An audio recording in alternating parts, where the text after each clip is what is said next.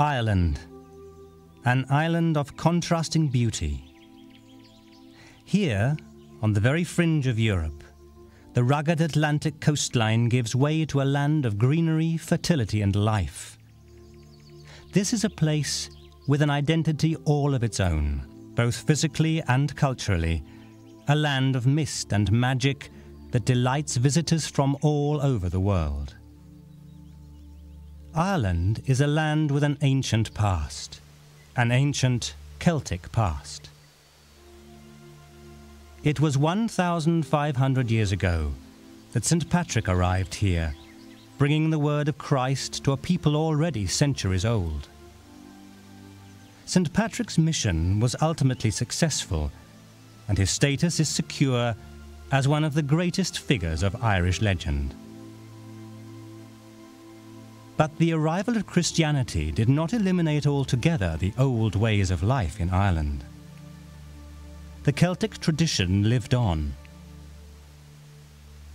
By reading the surviving sagas of Irish Celtic literature, we can see that St. Patrick is just one of the legendary figures of old Ireland.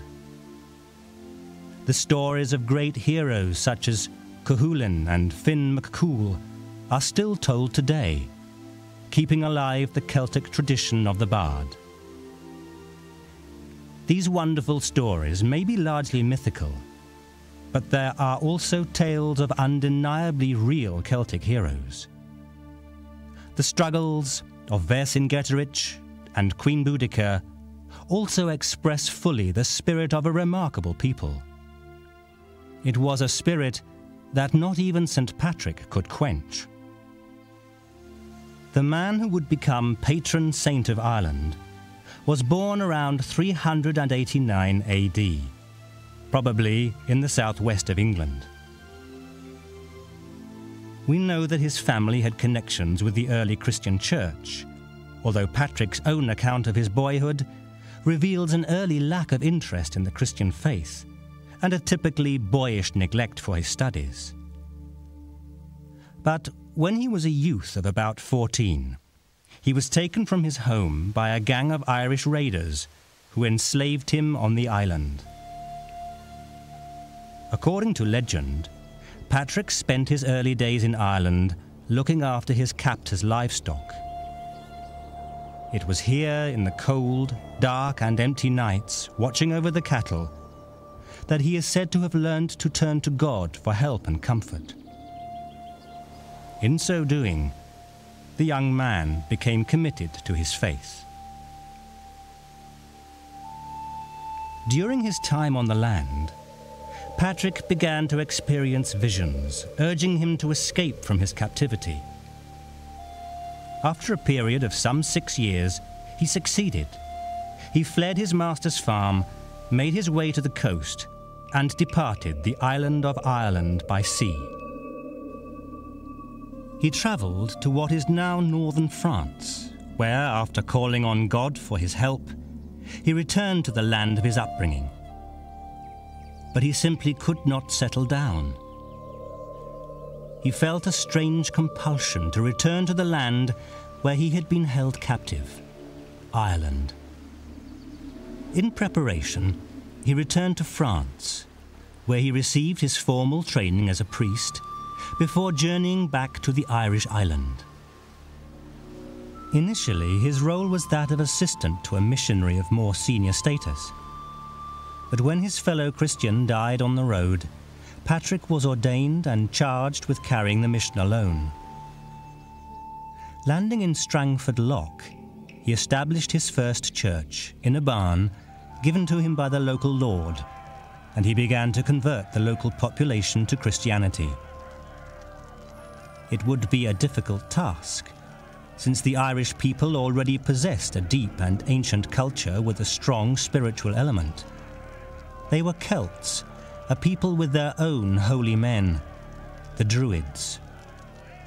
The Druids, of course, were enormously important to the Celts um, and their fame has come down through history. Um, it's surprising, therefore, that we don't know a great deal about them. What we can gather about the Druids is that they were the repository of the law in both senses um, law as in um, um, legal system and law as in um, the culture of the Celtic people. We do know that the Druids conducted religious ceremonies and um, from what we can gather these appeared to take place in the famous oak groves Um, we do know that the Druids, or part of the Druidic religion, centred around trees, and we still have vestiges of the Druidic tree alphabet, um, which um, to some extent is um, still associated uh, with the Gaelic and the Gaelic alphabet. Patrick's mission would bring him into direct conflict with the Druids and their followers. Confronted by the Christian, the Druids ordered a contest of faith, a trial of powers between Patrick and the Druid magician Lochit Moe. It was Patrick who prevailed, and Christianity began to establish itself in Ireland. But still, the crusading priest met resistance, and matters came to a head on Easter Day in 433 AD. The Christian festival coincided with the Druid Spring Festival. At this time, at the instructions of the Druids, all the fires in the land were extinguished, to be relit from the one fire burning on the hill of Tara, which was the royal residence and a profoundly sacred place. This ancient ritual symbolized the coming of spring and the rebirth of the land. Patrick chose to effect a confrontation by lighting his own Easter fire nearby. So when the High King saw this fire, he was absolutely furious and sent his officers to uh, arrest this man. But his druid said to him, your Majesty, if we do not put out the fire of this new religion today, it will burn forever after in this land. Well, that's what happened. And uh, Patrick escaped because he quoted psalms such as some trust in chariots, some in horses, but we will trust in God. And there was a thunderstorm, and the king's horses panicked and fled. And uh, he had, the king had other officers at the foot of the mountain to arrest him, but all they saw was a herd of deer, and so the tradition grew that the prayer called Patrick's breastplate is the cry of the deer. Other well known legends about Patrick are that he banished all the serpents, representing evil, from the island of Ireland. He is also said to have used the three leaved shamrock as a way to explain the Trinity, the concept of Father, Son, and Holy Ghost being one. To this day, the shamrock remains the emblem of St. Patrick and the national flower of the Irish people. Significantly, Patrick is also credited with bringing to Ireland the gift of writing. We know that Irish literacy did begin around the time of Patrick's ministry, helping to further spread the word of Christ. But the arrival of the written word achieved something else for Ireland. It helped preserve the folklore of the existing native tradition. Thanks to the efforts of modern archaeologists, we now know the origin of that tradition. It stems not from Ireland, but from Central Europe. Discoveries of ancient artifacts at locations such as Hallstatt in Austria have revealed the earliest secrets of the people who continued to flourish in St. Patrick's Island over a thousand years later the Celts. The people of Hallstatt flourished around 700 BC, a time when Europe was undergoing a technological revolution. Across the continent, iron began to replace bronze as the principal material for weapons and edged tools. The iron using innovators of Hallstatt mark the beginning of Celtic culture, and these mysterious craftsmen are the first of the Celtic peoples.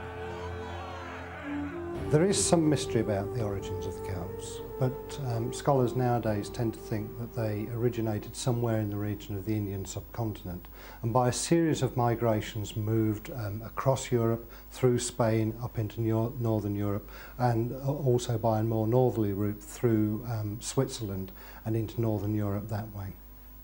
The Celts are often portrayed as wild barbarians uh, the antithesis of civilized people.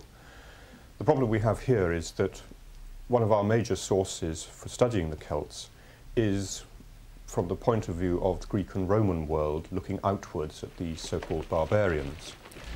This is a particular problem with one of our main sources, which is, of course, Julius Caesar's own narrative of the Gallic Wars. It's the Greeks and the Romans who give us such words as barbarian and civilized, and it's arranged according to their cultural preoccupations and preconceptions. We do have a corrective to this, which is from looking at the evidence left by the Celts themselves, from the excavation of their settlements, their houses, their burials, and from the objects in them. And it's quite clear from this that the Celts, by the time of Caesar, were an organized, sophisticated society with a very considerable technological ability and able to produce what to our eyes appear extremely beautiful objects. In the centuries that followed, the Hallstatt people spread throughout Europe, settling an area from the southeast coast of Britain eastward towards Austria and Switzerland, and south into the Iberian Peninsula. Around 500 BC, a more dynamic phase of development began. This period saw renewed expansion as the Celts began a series of conquests which consolidated their hold on Europe. Celtic tribes from Switzerland and southern Germany invaded Macedonia and Greece, eventually settling in parts of the Balkans and Asia Minor. In Britain, they moved north and west from their initial settlements into Yorkshire and parts of Scotland. And it was only a matter of time before the Celts arrived on the island of Ireland. Celtic tribes also moved south into Italy, famously attacking Rome itself. In the year 390 BC, an army of Celtic warriors carved a Roman citizen army into bloody ruin, forcing their way into what was already a great city. Driven into their high citadel, the Roman citizens could only watch in despair as their proud home was laid to waste. Faced with starvation, they agreed to pay a huge ransom in gold to their triumphant enemy. In simple terms, the Romans were forced to pay the Celts to go away. Their defeat had been total, but there was more humiliation to come. As the gold was being weighed, the Celtic leader Brennus stepped forward and, in a dramatic gesture, flung his sword onto the scales with the words, Vae victis, woe to the defeated. He wanted even more gold. Left with no other alternative, the Romans had to hand over the last gold in the city it was a bitter humiliation which Rome would never forget. In time, they would have a terrible revenge. The Romans called the invaders the Gauls. The mists of time and the passing of the centuries have obliterated much of their history. But in the 4th century BC, we know that they dominated a vast swathe of land stretching from the Atlantic to the Black Sea and from the Baltic to the warm shores of the Mediterranean. Although classical writers were quick to dismiss them as savage barbarians, the Gauls enjoyed a rich and diverse culture and a clearly structured society. Celtic social organization was based on the tribe, each of which had its own distinctive name tribal identity was intimately connected with territorial integrity. The Celtic tribes were jealous of their borders, which defined a patchwork of petty kingdoms. This persisted in many Celtic areas into relatively modern times. The clan system in Scotland is a continuing legacy of this tribal system. Within the tribe, Celtic society was a rigidly hierarchical caste system. Among the free Celts, it was essentially threefold kings, nobles, and free commoners. But like many ancient peoples, the Celts also had an underclass condemned to a life of poverty and even slavery. The tribal leaders were kings, although the Druids were generally afforded higher status. Each king was elected by the tribal aristocracy from the kin of his predecessor, although he was not necessarily one of his sons. Among later Romanized tribes, the institution of kingship was replaced by that of chief magistrate. Such magistrates ruled in conjunction with the nobles, who were often haughty and aristocratic, and tended to be somewhat aloof from the ordinary people. It was from this class of people that the legendary Celtic warriors were drawn. The warriors were in many ways the embodiment of Celtic society. Privileged and spoiled, their sole purpose in life was fighting. All Celtic social organisation was geared to supporting this objective. Warfare formed an essential part of Celtic everyday life, and the warriors were its personification. The Celts were really famous for their spectacular courage and bravado. They mounted successful campaigns, sacked Rome, even assaulted Delphi, but they never established an empire in the classic sense because they were more interested in the pursuit of war rather than the pursuit of empire. This lack of organisation was reflected in the way in which they actually waged war. To the Celts, war was something of a cult, and that cult was one of the individual. Julius Caesar, amongst others, mentions the Celts as being particularly ferocious in battle. But he also points out that they lack forward planning and organisation. Therefore, in order to defeat the Celts, all that another army needs to do is to outwit them and make them angry, because then they will charge straight at you. And eventually, if they've got enough loot on a campaign, they will go home.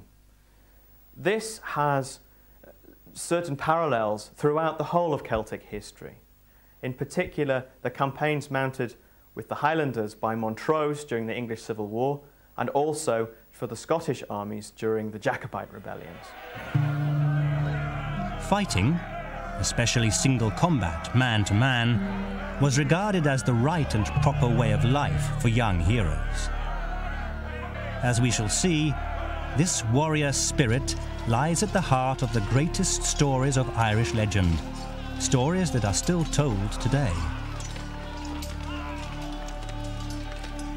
Sadly, the military muscle of the Celtic tribes would prove inadequate against a truly organized enemy.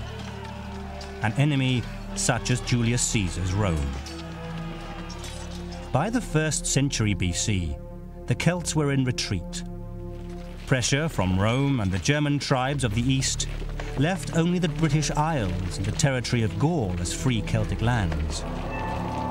These Gallic Celts would ultimately fall to Caesar's legions, but only after an epic struggle in which the Celts succeeded in organizing themselves into a huge single force. They were led by a man whose deeds show that the themes of the Irish legends are rooted in hard historical fact. His name was Vercingetorix. Vercingetorix was a young man in 52 BC, possibly as young as 20. But that year, he displayed military leadership far beyond his years. He was a member of the Arvernian tribe, but he knew that the Gallic Celts would have to be united to stand a chance against the Roman troops then conquering Gaul. Under his leadership, an enormous army was formed, with tribes from all over Gaul contributing fighting men. But the rebellion started inauspiciously. At Avaricum, the center of the Bituriga tribe, Caesar's legions were triumphant. According to the Roman leader himself, some 40,000 inhabitants were killed. Camped nearby, Vercingetorix knew that the loss of Avaricum was a real blow, but that it did not mean the end of the uprising. In fact, it was about to gather momentum. Caesar now decided to attack Gergovia, capital of Vercingetorix's own tribe, the Arverni. He deployed six of his ten Gallic legions. But when he arrived, he found that the Celts had positioned themselves extremely well. Their stronghold was a high plateau, whose southern edge was defined by a huge defensive wall. On the slope below, Vercingetorix placed a detachment of troops, themselves protected by a smaller wall. As a first move, Caesar decided to attack this position, and three legions quickly secured this aim. But in the heat of the battle, the Roman troops charged up the hill towards the main stronghold. Seeing what was occurring, Vercingetorix dispatched forces to attack from the flanks, and after fierce fighting, the Romans were forced to call off the attack.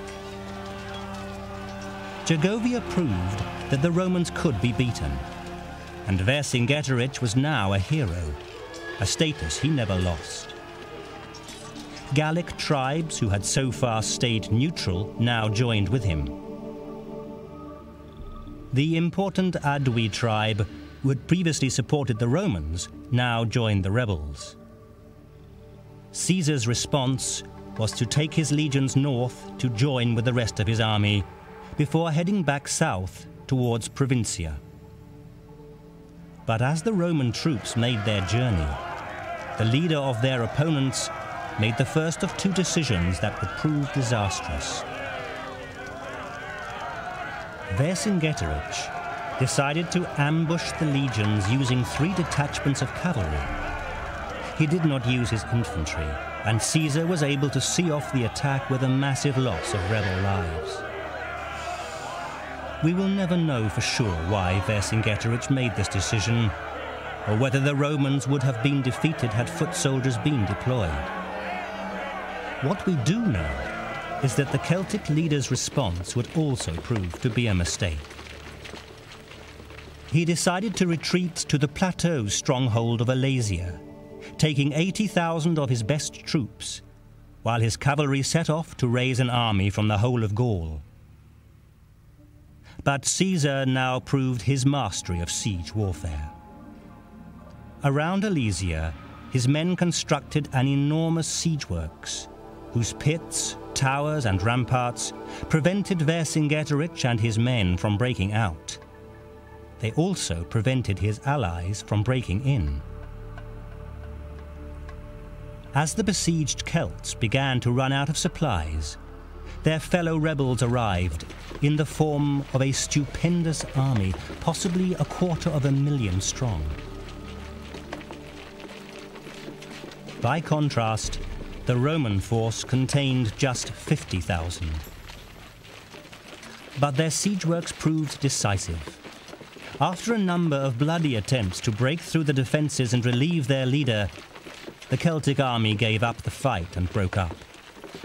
Shortly afterwards, Vercingetorix surrendered. Though the Gallic rebellion was ultimately defeated, the achievement of Vercingetorix should not be dismissed lightly.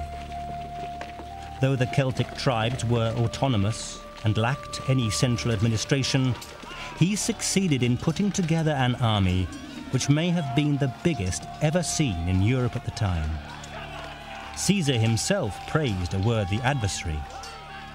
But superior Roman organization and Caesar's skill ultimately won through.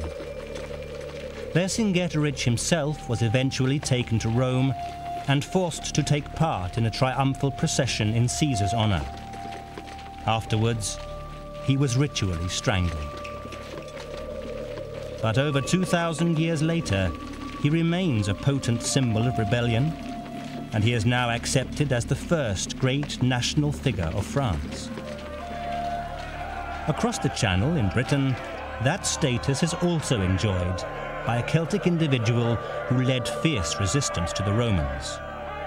Not a man, but one of the most famous women of all history, Boudica. Or, to use the title she enjoyed in life, Queen Boudica of the Iceni.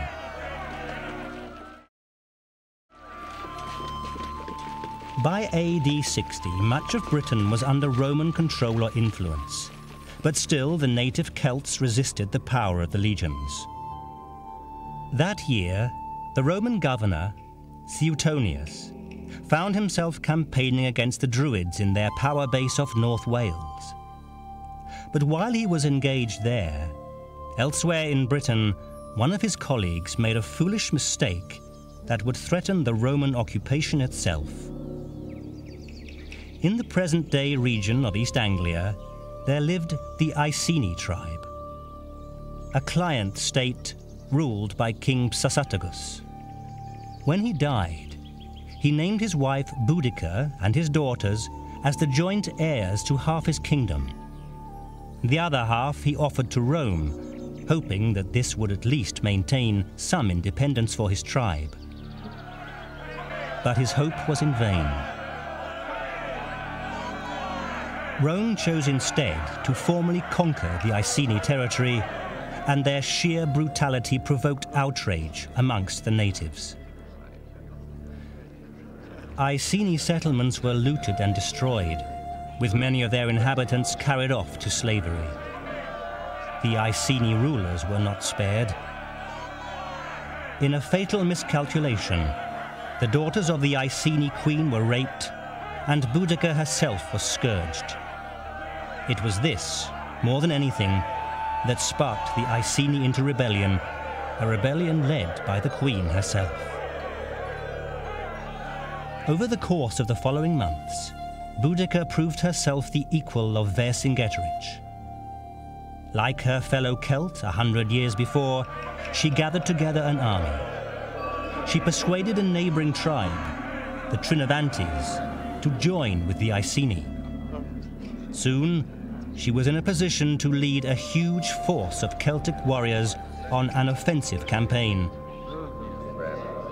Their first target was Camulodunum, a lightly defended Roman colony populated by veteran soldiers. The site of present-day Colchester, Camulodunum, had a strong symbolic value, since this was where the Romans had built a great temple to Emperor Claudius, a construction despised by the natives. Under Boudica's leadership, the colony was attacked, and in just two days, it was taken. Fired by an understandable hatred, the Celtic warriors exacted a terrible and bloody revenge. Appropriately, it was the hated temple of Claudius that witnessed the last stand of the Roman defenders, but there was nothing they could do.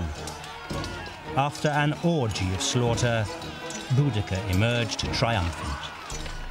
Far away in Wales, Suetonius was informed of the grim news from Camulodunum.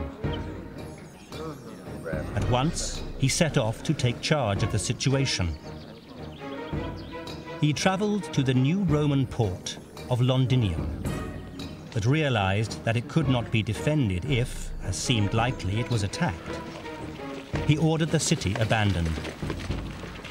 Sure enough, Boudica's army arrived shortly afterwards, slaughtering any who had stayed behind. Meanwhile, Suetonius was organizing his British legions in preparation for a full-scale engagement with the rebel forces. Significantly, he was prepared to wait for the opportunity to give battle at a location of his own choosing. But still, the rebellion gathered speed. Fired by the successes of Camulodunum and Londinium, more and more natives flocked to Boudica's cause. Her forces now headed northwest along the Roman Watling Street and took Verulamium, present-day St Albans, in another bloody conquest. The Roman occupation was now in real danger. If the Britons could defeat Suetonius and his legions, the Romans might be expelled from Britain for good. The decisive battle was not long in coming. At a still undetermined site in the English Midlands, the two armies finally faced each other. As was the case in Roman times, the leaders of the opposing forces sought to inspire their troops before the battle. Suetonius' speech was dismissive of his foe, while Queen Boudicca chose to motivate her troops by reminding them of the outrage that had sparked the rebellion in the first place. The formalities over, the battle began. The numerically superior British forces charged the Roman positions, but it was Roman tactics, not strength of manpower, that proved decisive. Acting on the express instructions of their commander, the Roman troops maintained their position until the time came to throw their javelins with deadly effect. As waves of rebel troops drove forward, the Romans advanced in a wedge formation, and the British found themselves hampered in the narrow strip of land that formed the battle site. As Boudicca watched in horror, her troops were soon in flight. The bloodshed was appalling.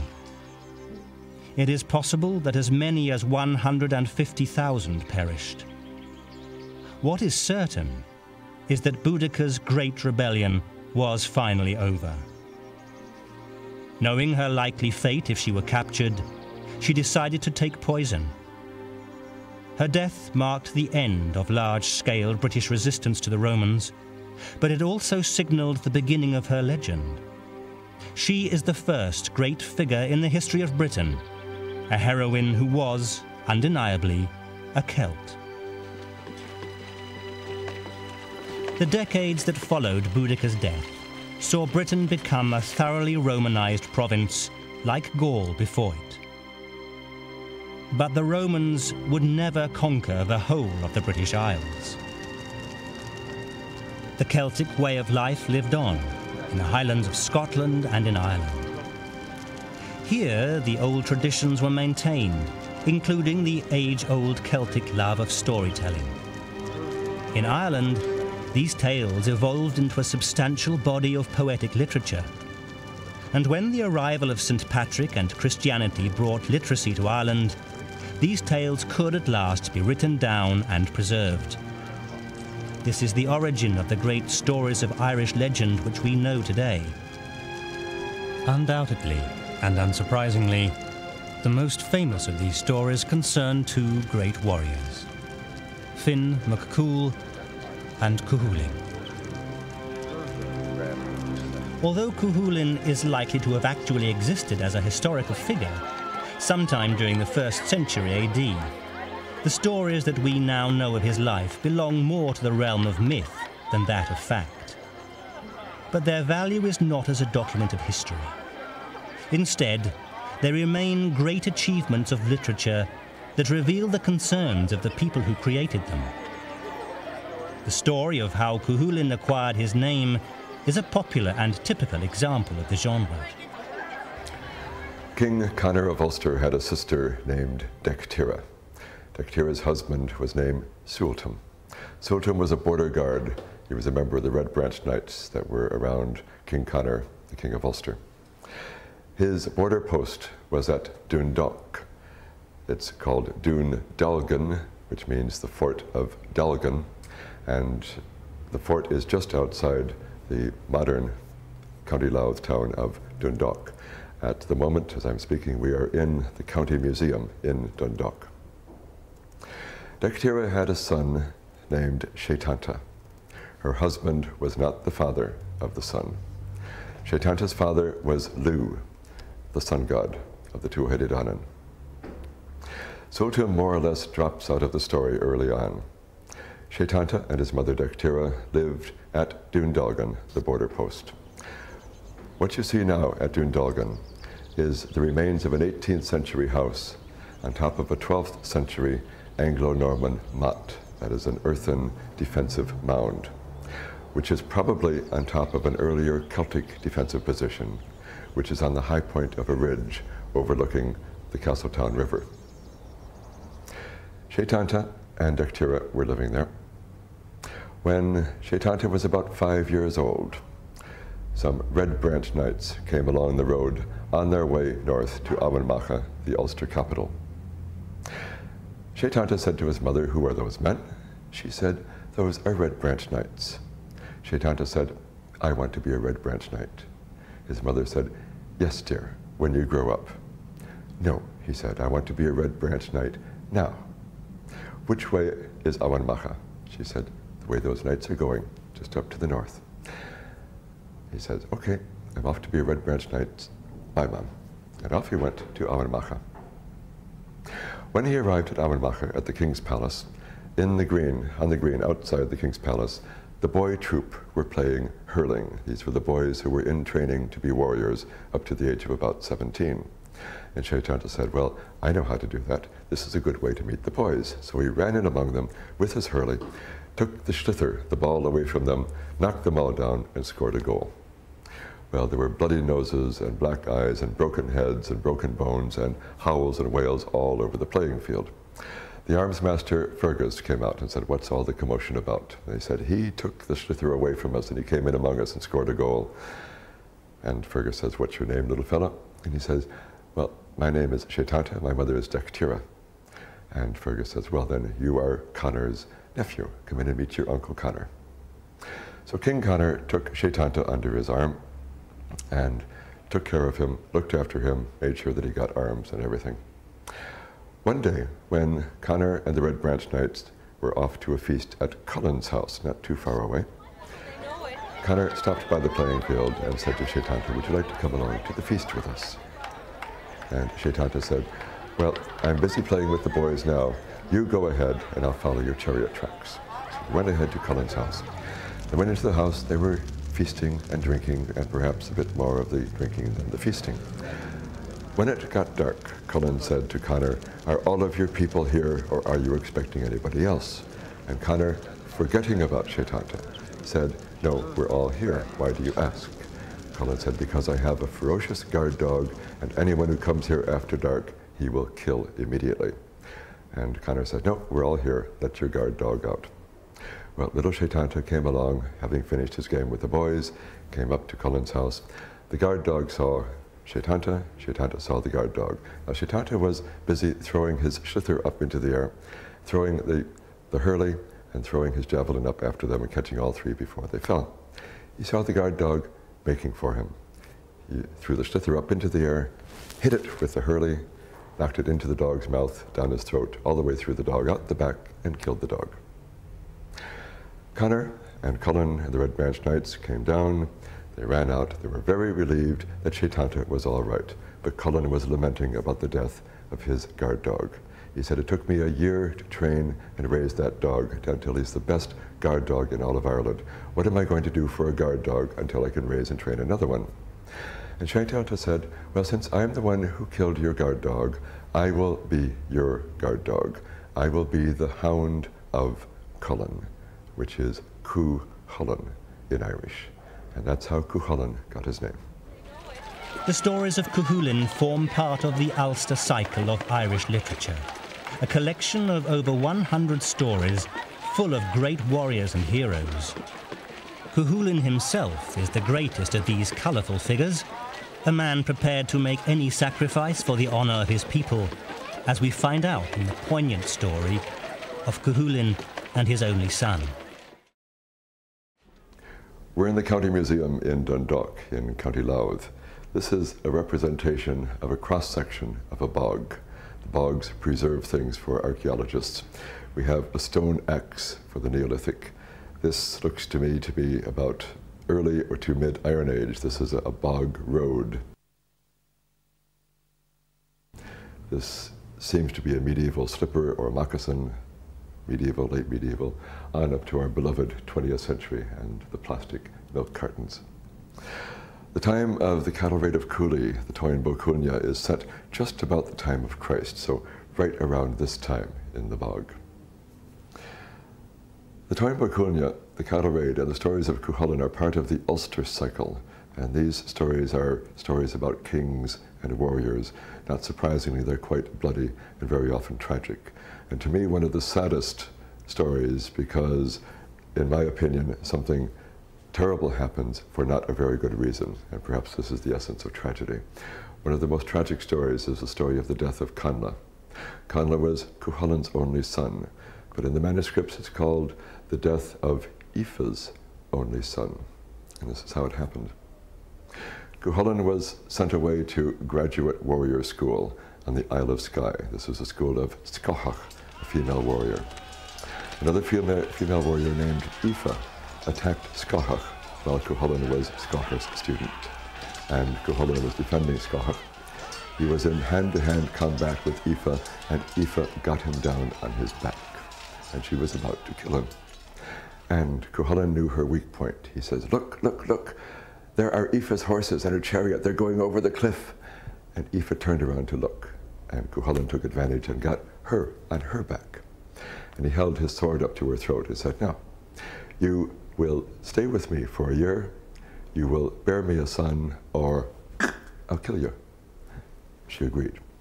And so she was pregnant by Cuchulainn when Cuchulainn left to come back to Ireland.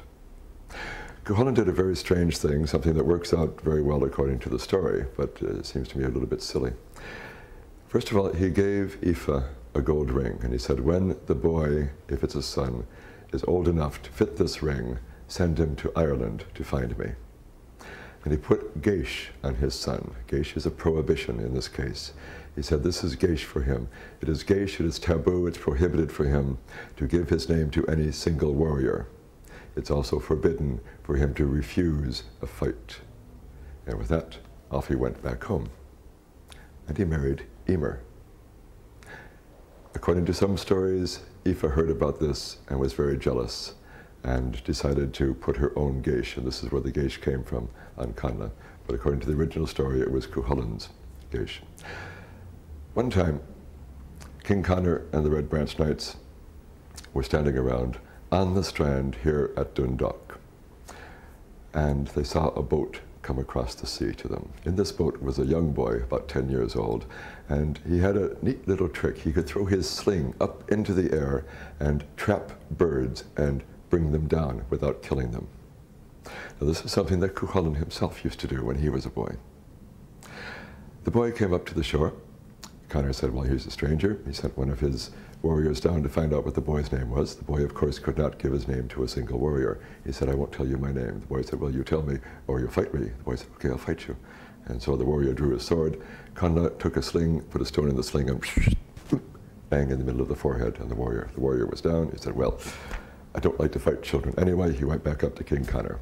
Conor sent Conall Cernach, the great Ulster hero, down. Same thing happened to Conall Cernach. He went back to Conor. The only thing to do was to send for Cuchulainn. Cuchulainn was sent for the champion of the king, the champion of Ulster. It's very likely, and in William Butler Yeats's version of this story in his play, he says very definitely Cuchulainn recognized something in the boy's eyes. He recognized his friend Aoife, the boy's mother, in the boy's eyes, and he suspected this was his son.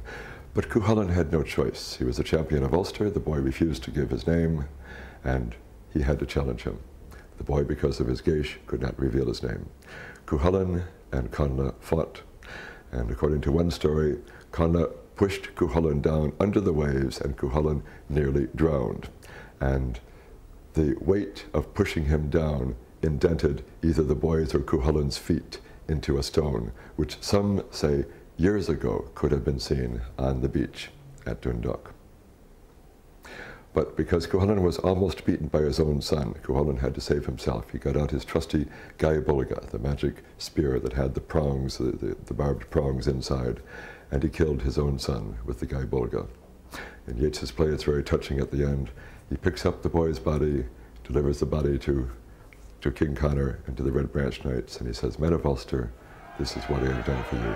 I have killed my only son for you. Cuchulainn's love of his people is also revealed in the most famous of the stories of the Ulster cycle, the cattle raid of Cooley. Here again we have a tale of great heroism and adventure, with Cuchulainn compelled once more to fight for Ulster. In this case, his enemy is from the land of Connacht, an enemy keen to take one of the greatest prizes in the whole of Ulster, the brown bull of Cooley. But this enemy is not a man. In the Celtic tradition of the powerful female warrior, Cuchulainn must do battle with the Queen of Connacht, Queen Maeve. We're on the top of Dún Dalgan, which is an earthen defensive mound which was built in the 12th century by the Anglo-Normans, probably on top of an earlier Celtic defensive site. Dún Dalgan means the fort of Delga. Delga was a king who lived about 4,000 years ago. Locally, this mound, or motte, is called Cuchulainn's Castle, or Cuchulainn's Mount, because by local tradition, Cuchulainn lived here as a child. Behind me you can see the Carlingford Peninsula, the Carlingford Mountains. The old name of that is the Cooley Hills. And this is where the brown bull of Cooley was kept, in the small kingdom of Cooley. The Táin Bó Cúailnge, the story of the brown bull of Cooley, is a fantastically long and involved saga. It's a story that begins with a king and queen in bed, the king and queen of Connacht lying in bed, and they get into a little competition match with each other where each says, I'm of a higher status than you. Aren't you lucky you married such a beautiful woman as me who's so rich? And he says, Well, you should be lucky that you married such a handsome and, and rich man as me. And this little bedtime competition escalates and they begin to name their wealth. And the queen, who's Maeve, and the king, who's Ailill, get to the point where they realize they're of the same level of wealth. And then Ailill says, Ah, and I have a fantastic bull. Fantastic, yeah, as, as they only are in sagas. And she is stumped because they're equal up to this point, but he has this bull and she has no equivalent. And what this means for her is that in Irish law, her husband, because he's the wealthier of the two, can dominate her in the marriage. Whereas if she was a woman of equal wealth, then she would be of equal status within the marriage. And Maeve is not a woman who wants to be dominated by her husband. Maeve was born to dominate. So she is determined that she is going to get a bull that exceeds that of her husband so that she can dominate him in their marriage. And she's heard tell of one in Ulster, and she's going to go get it. And it is the brown bull of Cooley. And the whole of the saga unfolds from that moment. She is determined that she is going to get this brown bull of Cooley in Ulster. And the, the saga unrolls from that. And the saga of the Táin Bó Cúailnge is all the adventures that happen on the way, all of the adventures of the people of Ulster trying to defend their brown bull and themselves against the, the host of warriors brought by Maeve to get this bull and all of the side stories, you know, all the subplots and, um, and digressions from it. Um, in the end, of course, it all, it all ends rather badly anyway. Um, the bull ends up dying, and, uh, but nevertheless, a good time has been had by all along the way. There are a number of recurring themes in the stories that make up the Ulster cycle. The concept of the individual champion of the tribe is one. The importance of an individual's honour is also repeatedly emphasised, as well as the ongoing need to fight for it. In these Celtic stories, as in Celtic life, it is the skills of warfare that provide the means for social advancement. Even the closest of friends could be compelled to meet in battle, as Cuchulainn himself finds out in one of the saddest of all the Ulster Cycle tales. This is the river that flows through the village of Ardee in County Louth. The Irish for Ardee is Baile Átha Fhirdia. This means the town of the ford of Firdia, and that's its main claim to fame. Now, I'll back up a little bit in the story of the cattle raid of Cooley. Cuchulainn wanted to marry Emer. Emer's father said, no, unless you go to graduate school for warriors first. He put this as a condition on Cuchulainn because he suspected that Cuchulainn would not survive Scáthach's graduate school on the Isle of Skye. He hoped he wouldn't survive. Cuchulainn survived, and there are other stories on that, but this is where he met Ferdia. Ferdia became his blood brother, his closer than brother friend. Unfortunately, Ferdia was a Fir Bolg from Connacht, and at the time of the Táin, the cattle raid of Cooley, he was fighting on the side of Maeve in the invasion against Ulster. Cuchulainn was the champion of Ulster, defending Ulster against the invasion. Cuchulainn and Ferdia didn't want to fight each other, and they refused to fight each other. Queen Maeve was offering her daughter money, fame, everything to Ferdia, and he refused to fight Cuchulainn because they were best friends. Finally, Maeve found his weak point. She challenged his courage. She said, I think you're afraid to fight Cuchulainn. You're afraid he's going to kill you. That got him. He finally agreed to fight Cuchulainn, and by local tradition, the fight was right here at the ford in Ardee. And there's a standing stone that's been here for a long time to commemorate that event. Now, what happened in the battle, the first day, Cuchulainn and Ferdia hacked and sawed at each other with their weapons. Neither got the better of the other. At the end of the day, they bound, out, bound up each other's wounds, they gave each other food and helped each other. Second day, they hacked at each other again, and Cuchulainn was afraid he was not going to be able to beat Ferdia. So he told his charioteer, if tomorrow it looks as if I'm losing, I want you to send me the Gae Bolga, on the water. Now, the Bolga is a mysterious weapon. It apparently is loaded with springs and barbs. It enters the bullock, the stomach, and when it goes into the stomach, the springs send the barbs through the person's body. And there is no way to extract this weapon without killing the person. So if you're hit by the Gae Bolga, you're dead. This Gae Bolga was given to Cuchulainn by Scáthach, and he was the only one, as far as we know, who ever used it. On the third day, Cuchulainn got a very severe wound from Ferdia. Ferdia was about to defeat him, and Cuchulainn called for the Gae Bolga. His charioteer sent it across the water. Cuchulainn took it with his toes and got under Ferdia's defenses and put it into his belly. And he killed his best friend. And then he lamented while the army of the rest of Ireland came toward him and he was urged by his charioteer to, to get away. They're going to come and they're going to kill you. But Cuchulainn went on for pages and pages in the manuscript, lamenting that he had killed his best friend, his blood brother, Ferdia. The second of the great cycles of Irish legend is also dominated by the exploits of one amazing warrior. A man who, in modern terms, could be described as a superhero. This is the Fenian cycle, and their central figure is Finn McCool. Like Cuchulainn, Finn McCool was almost certainly a real historical figure who lived around the second century AD. Finn is also a great warrior, but he is also a poet, the leader of a group of men whose skills with weapons are matched by their skills with words. Perhaps because of this, many students feel that the adventures of Finn represent the greatest stories of Irish legend. Somebody said once that Fionn McCool is everybody, that Fionn McCool is the person. All the intricate and difficult um, feelings and experiences that we have as individuals are Fionn McCool. Fionn is the most generous man who ever lived, but also in some stories he's quite a mean and stingy man. Fionn is the most noble and um, brave man who ever lived, but in some stories he acts out the part of a coward. Uh, Fionn is the most well-intentioned man who ever lived, yet in some stories he's very vindictive and jealous. So that Fionn is really what we are ourselves.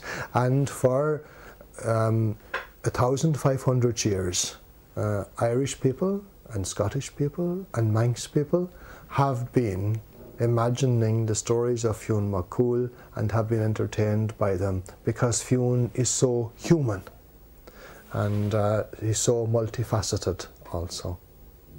The richness and diversity of Finn McCool's character contribute vitally to the impact of the stories which concern him. In one of the best known tales, he is furious to find out that his fellow warrior, Dermid, has run off with Gráinne, the king's daughter and object of his own affections. An epic story unfolds as Finn hunts down his fellow Fenian, only for the two men to be eventually reconciled. Throughout the cycle, Finn's pursuit of wisdom is also emphasized. It is this balance of the active and the reflective that give the stories of Finn their continuing appeal. The legend of Fionn McCool includes Fionn taking lots of risks to gain wisdom. He's the man who, as a boy, put his thumb in the cauldron of wisdom and gained wisdom. And I think there's something very eternal about that quest for wisdom. Uh, Fionn is a hero who's not only a military hero, but he's almost a spiritual hero. You know, he undergoes transformations, he undertakes quests, and he has insight and wisdom in addition to the ability just to fight. And I think as a hero, he's more three-dimensional than Cuchulainn. He's more three-dimensional than a lot of heroes.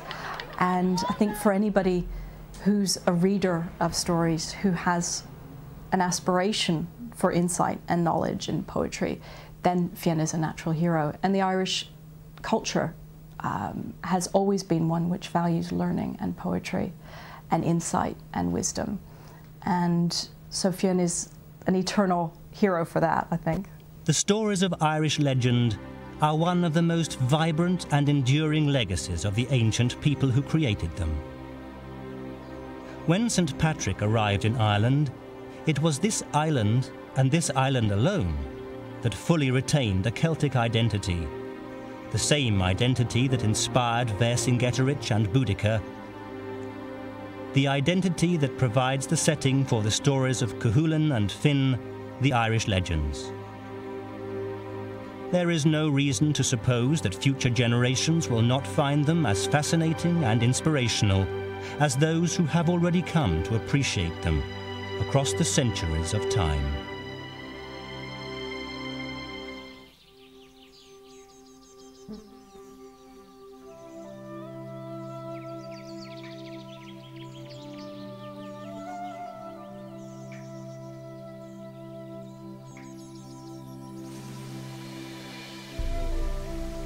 Scotland is justifiably famous for the beauty of its landscapes, for the magnificent rivers and glens, the forests, and of course, there are also the fairy tale castles.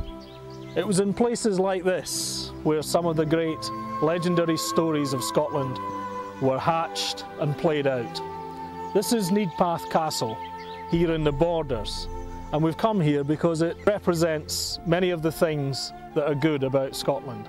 It stands on a hill above the River Tweed and it has endured for the centuries, as have many of the stories we're about to explore.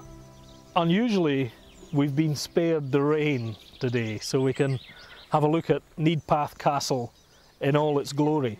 Normally when tourists come to Scotland, they, they bypass this area and they head straight for the Highlands, which for them is a great shame because they miss not only some of the best landscapes in the world, they also miss the roots of some of the, the real stories that colour Scotland's history. One of the most famous figures in Scottish history is now William Wallace. Thanks to Hollywood, who came here and made the Braveheart film, Wallace has become one of the single most dominant figures on the medieval landscape of Scotland.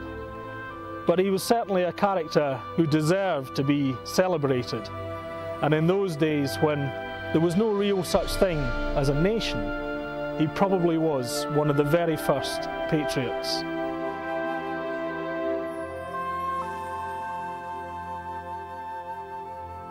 I think William Wallace must be regarded as one of the great icons of Scottish history. A remarkable figure by any stretch of the imagination. Historically, he was the son of a knight, but in legend, he became the common man, the man from nowhere, who appeared in the hour of need of his country. Medieval people believed in the great chain of being, that everything had its correct place. If you took one piece out and inserted it somewhere else, the whole chain was likely to fragment. So the English accounts stress the unnaturalness of this man. And what's curious is that the Scottish nobility, who should have been leading the armies at the time Wallace was leading them, also distrusted him for the same reasons. He was a man of low birth. We know very little about the early life of William Wallace.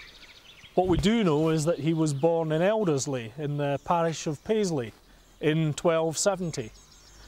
But for the rest of the detail on his colourful life, we have to rely on an epic poem which was written by a minstrel known as Blind Harry. And Blind Harry tells the story of William Wallace and his deeds from the time when he stepped onto the national stage in 1297 AD. The first record of Wallace in the history books is the mid 1290s when we hear the Sheriff of Lanark, William de Hazelrigg, who was an Englishman and part of the English garrison there, had assaulted William Wallace's wife. He subsequently murdered her.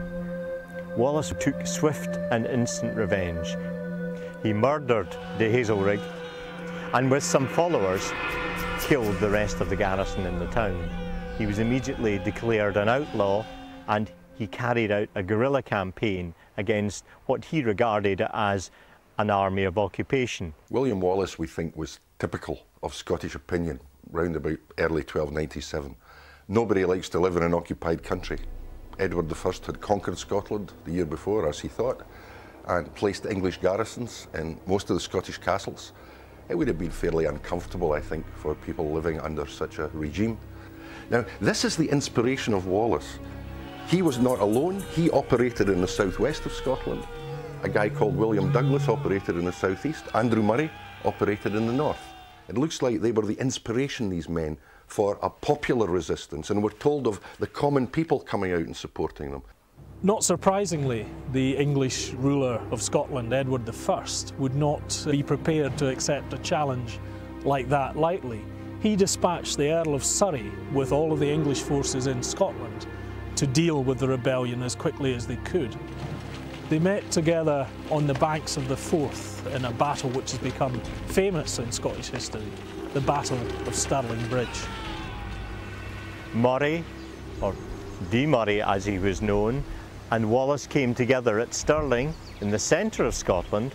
Their armies combined, and there the approaching army of Edward, under the generalship of Surrey, approached them to cross the River Forth at the one bridge at Stirling. It was an old wooden rickety bridge and the heavy English cavalry had to cross this bridge two by two, side by side. The Scots army, waiting in the woods on the Abbey Hill overlooking the bridge, kept their nerve and when the order was given, they swooped down and massacred the English army, who found it very difficult to manoeuvre in the marshy ground around the bridge. Some of the knights tried to turn and flee back across the bridge, causing more chaos, but they were outflanked by Wallace's force who fell upon them. The victory was complete and Scotland was for the moment free of the tyrannical English rule of Edward. The Scottish victory at Stirling Bridge was a sensational and unexpected boost for the morale of Wallace and his men. And at first it looked as if they would be able to free the whole of Scotland. But what Wallace hadn't reckoned with was the intervention of Edward I, who was to become known as the Hammer of the Scots. Legend has it that about five miles west from here, William Wallace with a band of his followers were surprised by an English force and forced to flee. The area here, of course, was then governed by the Fraser family. The last of the Fraser family here, as Sir Simon Fraser, was taken at the Battle of Dunbar in 1296 and forced to then swear allegiance to Edward I. Shortly after this, Fraser then went to France as a knight banneret and fought for Edward I in his French wars. Fraser returned to this area and became sheriff of Traquair and Ettrick Forest. During this period, certain people wrote to Edward I suggesting that Fraser's heart wasn't actually in the employ of the English. He was a bit of a nationalist. Fraser, shortly after this, proved this by changing completely to the Scottish side. Now, Edward was not only a first class ruler, he was also a great politician, a statesman, and above all, he was a soldier who knew the craft of soldiership and he knew what had to be done on the battlefield. Edward marched north with his own army and he engaged Wallace and his forces in the Battle of Falkirk. it's really quite hard to assess the methods of warfare used at this time. One of the mysteries is the Scots had been at peace with England and virtually everybody else for a hundred years. So where did they acquire the military expertise which allowed them to resist the English? The Schiltrom was used at Falkirk, which is the battle that Wallace lost. It's more of defensive, I think. Uh, it's been compared to a hedgehog with a kind of semicircle and spears sticking out, close ranks and archers between the spears. The idea was the spears would protect the defending troops against a cavalry charge. The archers would do their damage as well.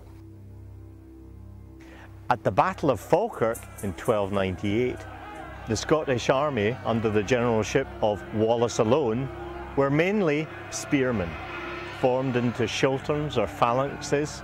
The first charge was repulsed, but Edward was a wily soldier and brought up his archers, and the archers rained their deadly arrows upon the schiltroms. Many of the Scots fell dead.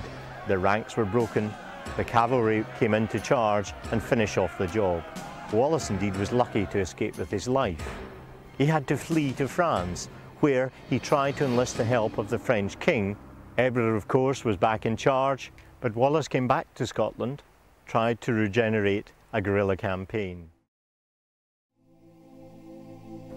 Unfortunately, he was betrayed by one of his own countrymen, Sir John Monteith, who gave the brave Wallace up to Edward I who in typical fashion had no mercy.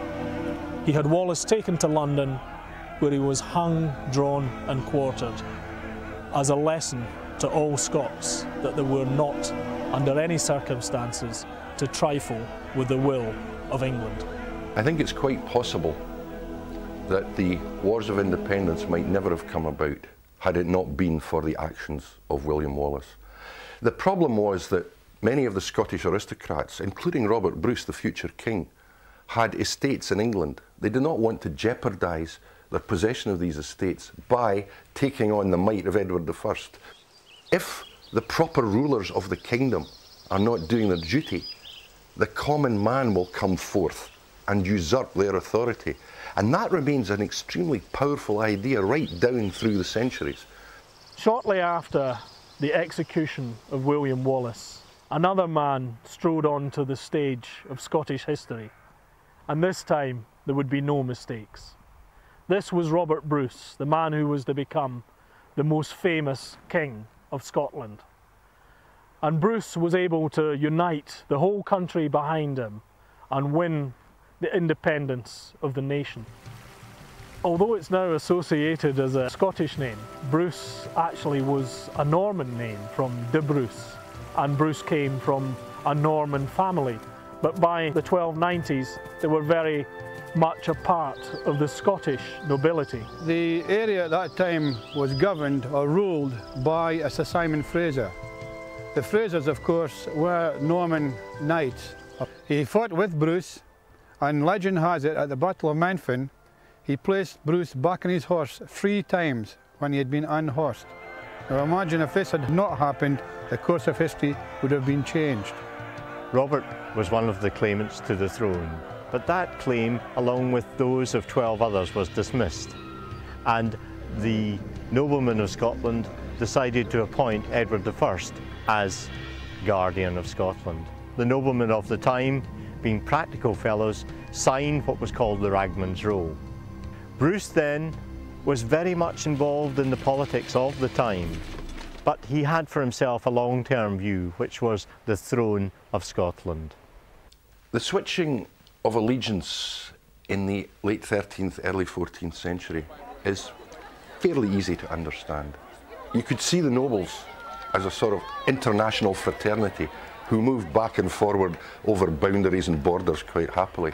And they, they didn't necessarily have a commitment to a concept to an idea. It's very interesting that in 1304, when Edward is bombarding Stirling Castle and he asks them, On whose authority do you hold this castle against me, Edward I? They say, We hold on behalf of the lion. That's the first abstraction of kingship that you get in the British Isles. They're having to formulate new ways of articulating their political aspirations. What's happening in this very interesting period is that people are working out their ideas and their identities and their commitments for the first time against a very tricky background. So they're reacting to present contingencies and redefining themselves in the process. In the medieval world, you were only ever going to be a king if you had the strength and the ability to protect your position, sometimes physically. Bruce and Comyn were two rivals for the throne, but at the same time they were also occasional allies. And the Bruce clearly decided at some stage that he had to be rid of Comyn. There are accusations of treachery on both sides. We'll never know what the truth is. But what certainly did happen is that when the two men met together in a chapel near Dumfries, the Bruce drew his dagger and murdered Comyn. As you would expect, he was excommunicated for such a heinous sin as a murder in a chapel. But with the politics of the day, the Archbishop was still prepared to crown Bruce as King of Scotland, which happened on Palm Sunday in 1306. The family of Comyn were out to settle the score, and the people of Scotland weren't sure about this man who had murdered his opponent in a church of all places.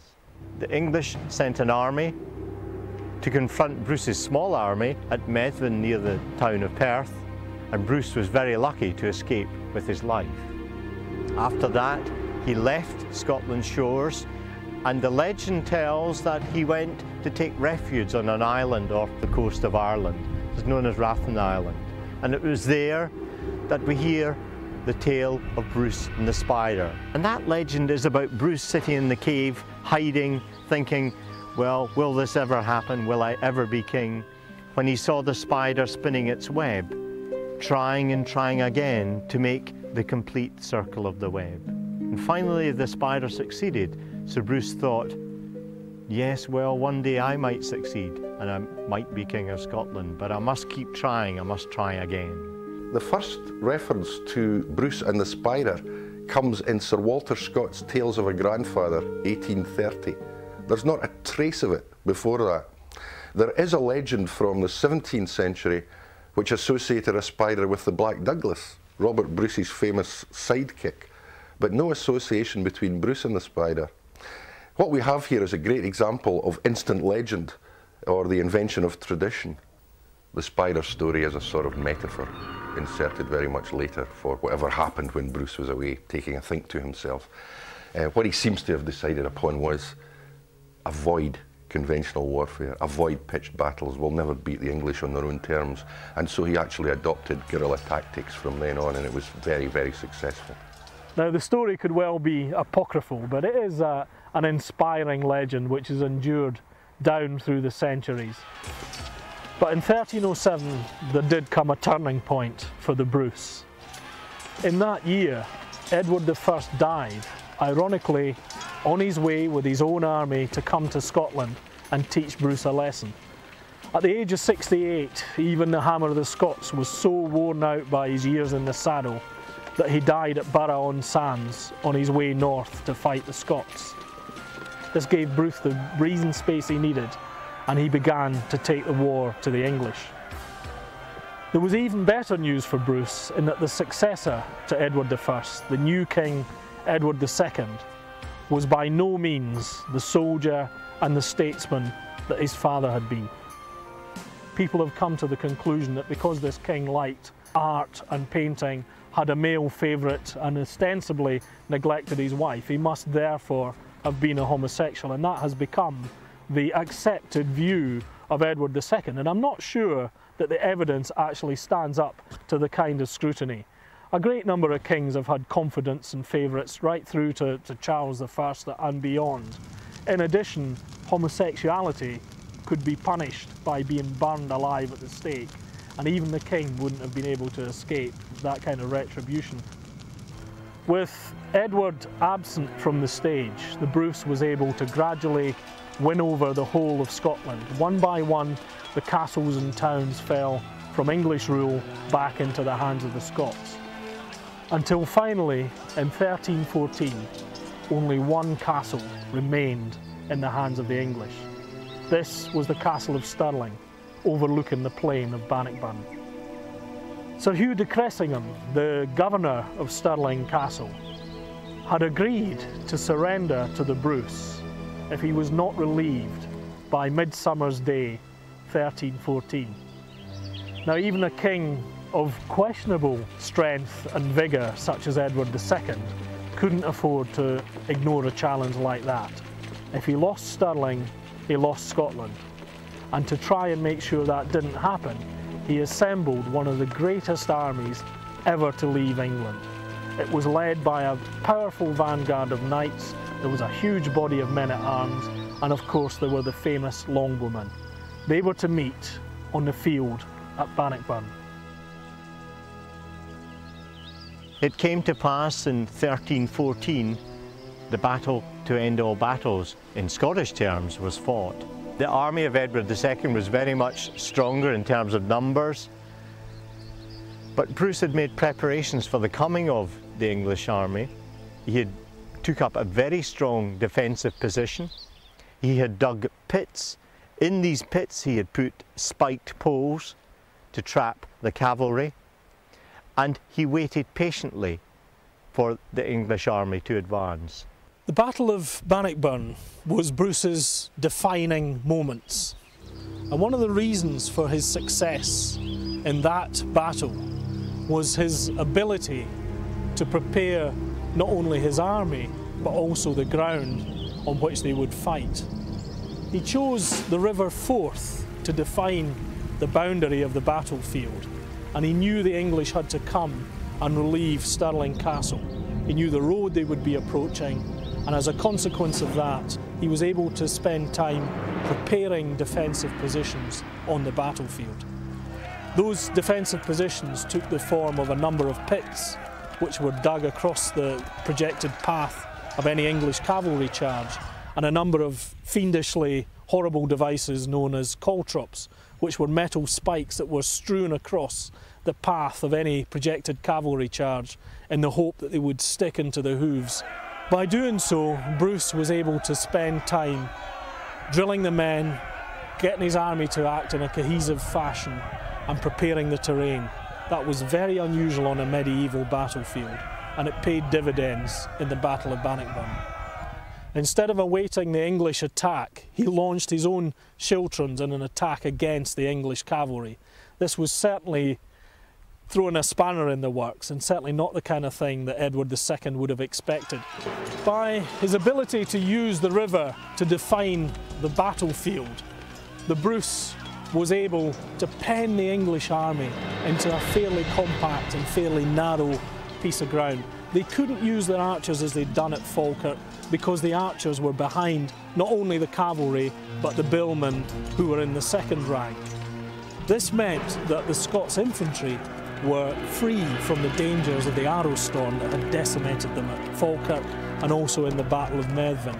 So what we had here was a general who was able to decide not only his tactics, also how he was going to use the field to his own advantage. Some of the English archers did actually manage to take up a position on the flank and begin to cause casualties among the Scots infantry with their arrow fire from the flank. And the Bruce had had enough wisdom to keep back the tiny reserve of cavalry he did have, only 500 men, lightly armoured on small horses, but they were to prove absolutely decisive at that point because it was then that he released his small force of cavalry to disperse the English archers and keep the battle going in favour of the Scots. The English cavalry advanced, but could only advance very slowly because they had a very limited section of dry land in which they could advance. That attack was repulsed easily by the Scottish spearmen, and then the next day the spearmen beat off the English army. As the English army were turning to flee, the reinforcements or the camp followers came into the battle and the rout was complete. The English made off. The king himself was lucky to escape, but his wife and daughter were taken prisoner and ransomed for a great price. Bannockburn was undoubtedly a colossal victory. There's no question about it. Probably the most spectacular victory in Scottish history. As such, has never been forgotten by certain sections of the Scottish community. The Scottish National Party, for example, still holds annual rallies at Bannockburn.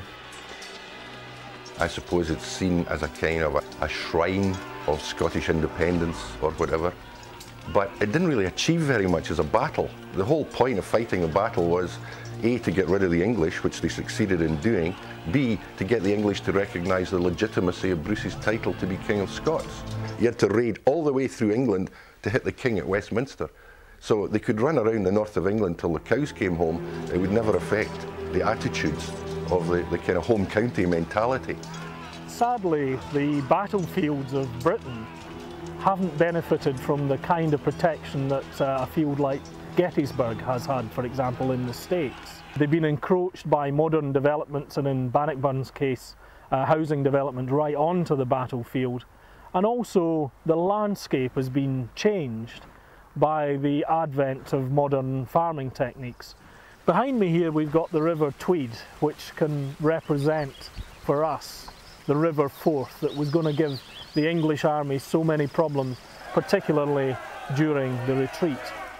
Opposite we've got the mature trees, similar to the kind of features of the new park which hid the Scottish army so effectively on the days before the battle. Then across here we've got a flat plain which stretches from the river.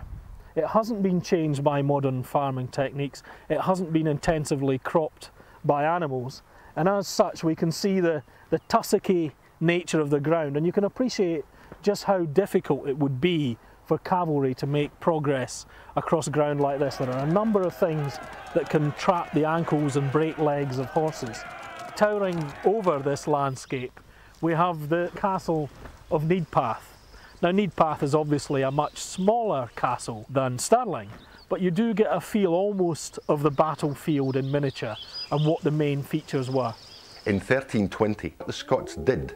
The nobles, barons, freeholders, and the community of the realm of Scotland, they sent a letter to the Pope of the day, really asking the Pope to put pressure on the English king to recognise Bruce's title. A declaration of Scottish independence.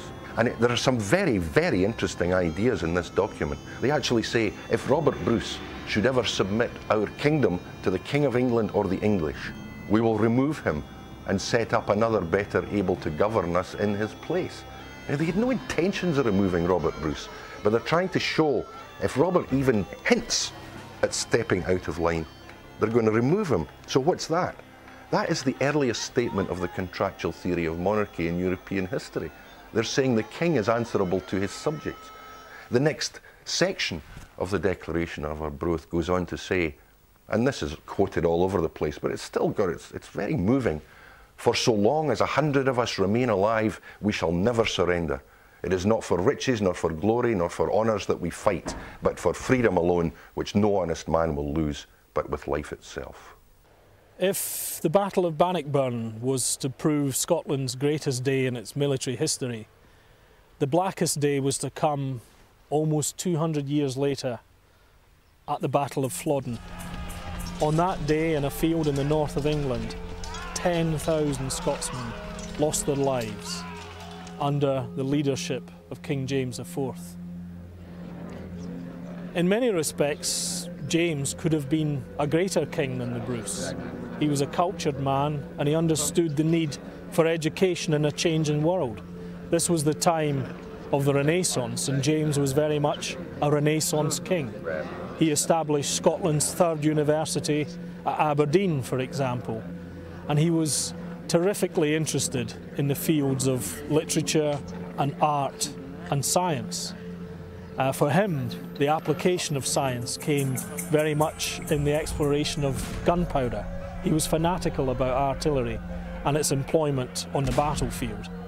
Unfortunately, the artillery was to let him down on the day of his greatest trial.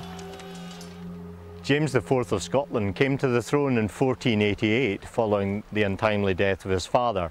Much trade was carried out between Scotland and the Low Countries and France. In terms of culture, he set up the third university in Scotland in Aberdeen the College of Surgeons in Edinburgh, set up a printing press, encouraged uh, writing and literature, and so did a lot of good for the education of Scots and Scotland. His brother-in-law, Henry VIII of England had formed the Holy League with the King of Spain and the Doge of Venice. And their aim was to attack the power of Louis, the King of France. Now, there had been an ancient alliance between France and Scotland called the Auld Alliance, which went back to the 13th century. But Louis, knowing that James was a very gallant and chivalrous gentleman, decided that it would be better if his wife, the Queen, wrote to James seeking his assistance. This she did with all pomp and circumstance, and with her letter she sent a lovely turquoise ring.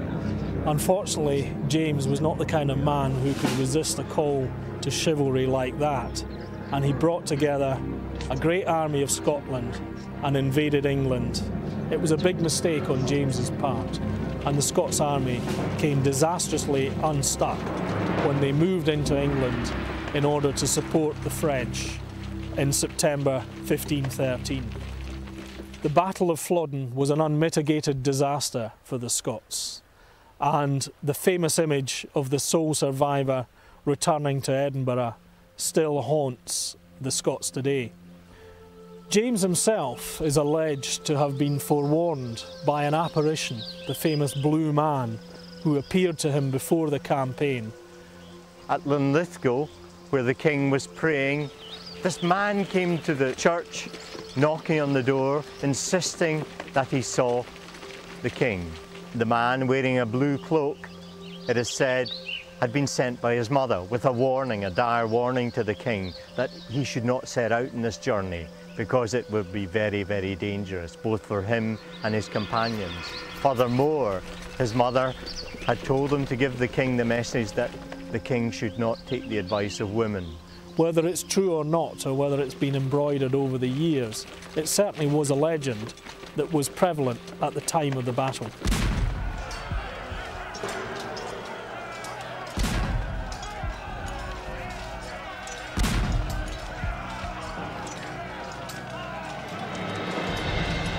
It was said that there wasn't a single family in the whole of Scotland that was left untouched by the disaster at Flodden. So great were the casualties that they were lamenting throughout the land.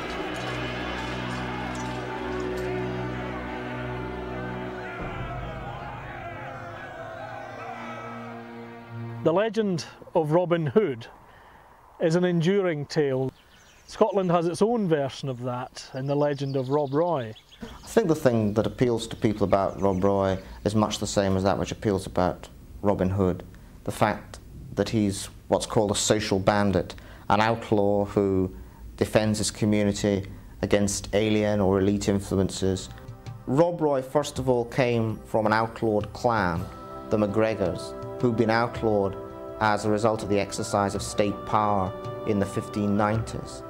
He was associated with the Jacobite risings and their opposition to the Union in 1715 and 1719. He was also associated with the ability to act autonomously in defiance of authority. In Scotland, we have our own version of Robin Hood, and his name is Rob Roy MacGregor, and he lived here in this area called Balquhidder. Behind me is the Kirkton Burn, which flows down Loch Voil and passes by the alehouse where Rob Roy used to drink, not 300 yards from here. He drove cattle to markets in the south, uh, down to England, and as he reached his late teens, he was installed in a farm not far from here on the southern shores of Loch Voil. Later, in 1693, he was married to Mary MacGregor of Comar, and it was here in this glen that he started his married life.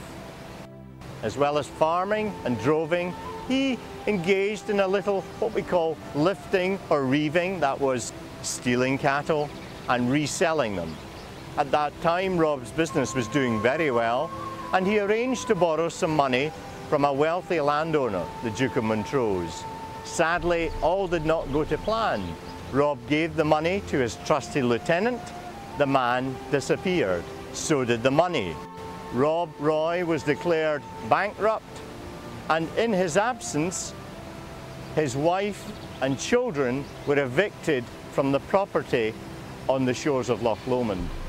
Rob took revenge on Montrose by stealing his cattle, stealing his rent, and in some cases, stealing the rent that the tenants, the poor tenants, had paid to his factor and then giving the money back to the tenants.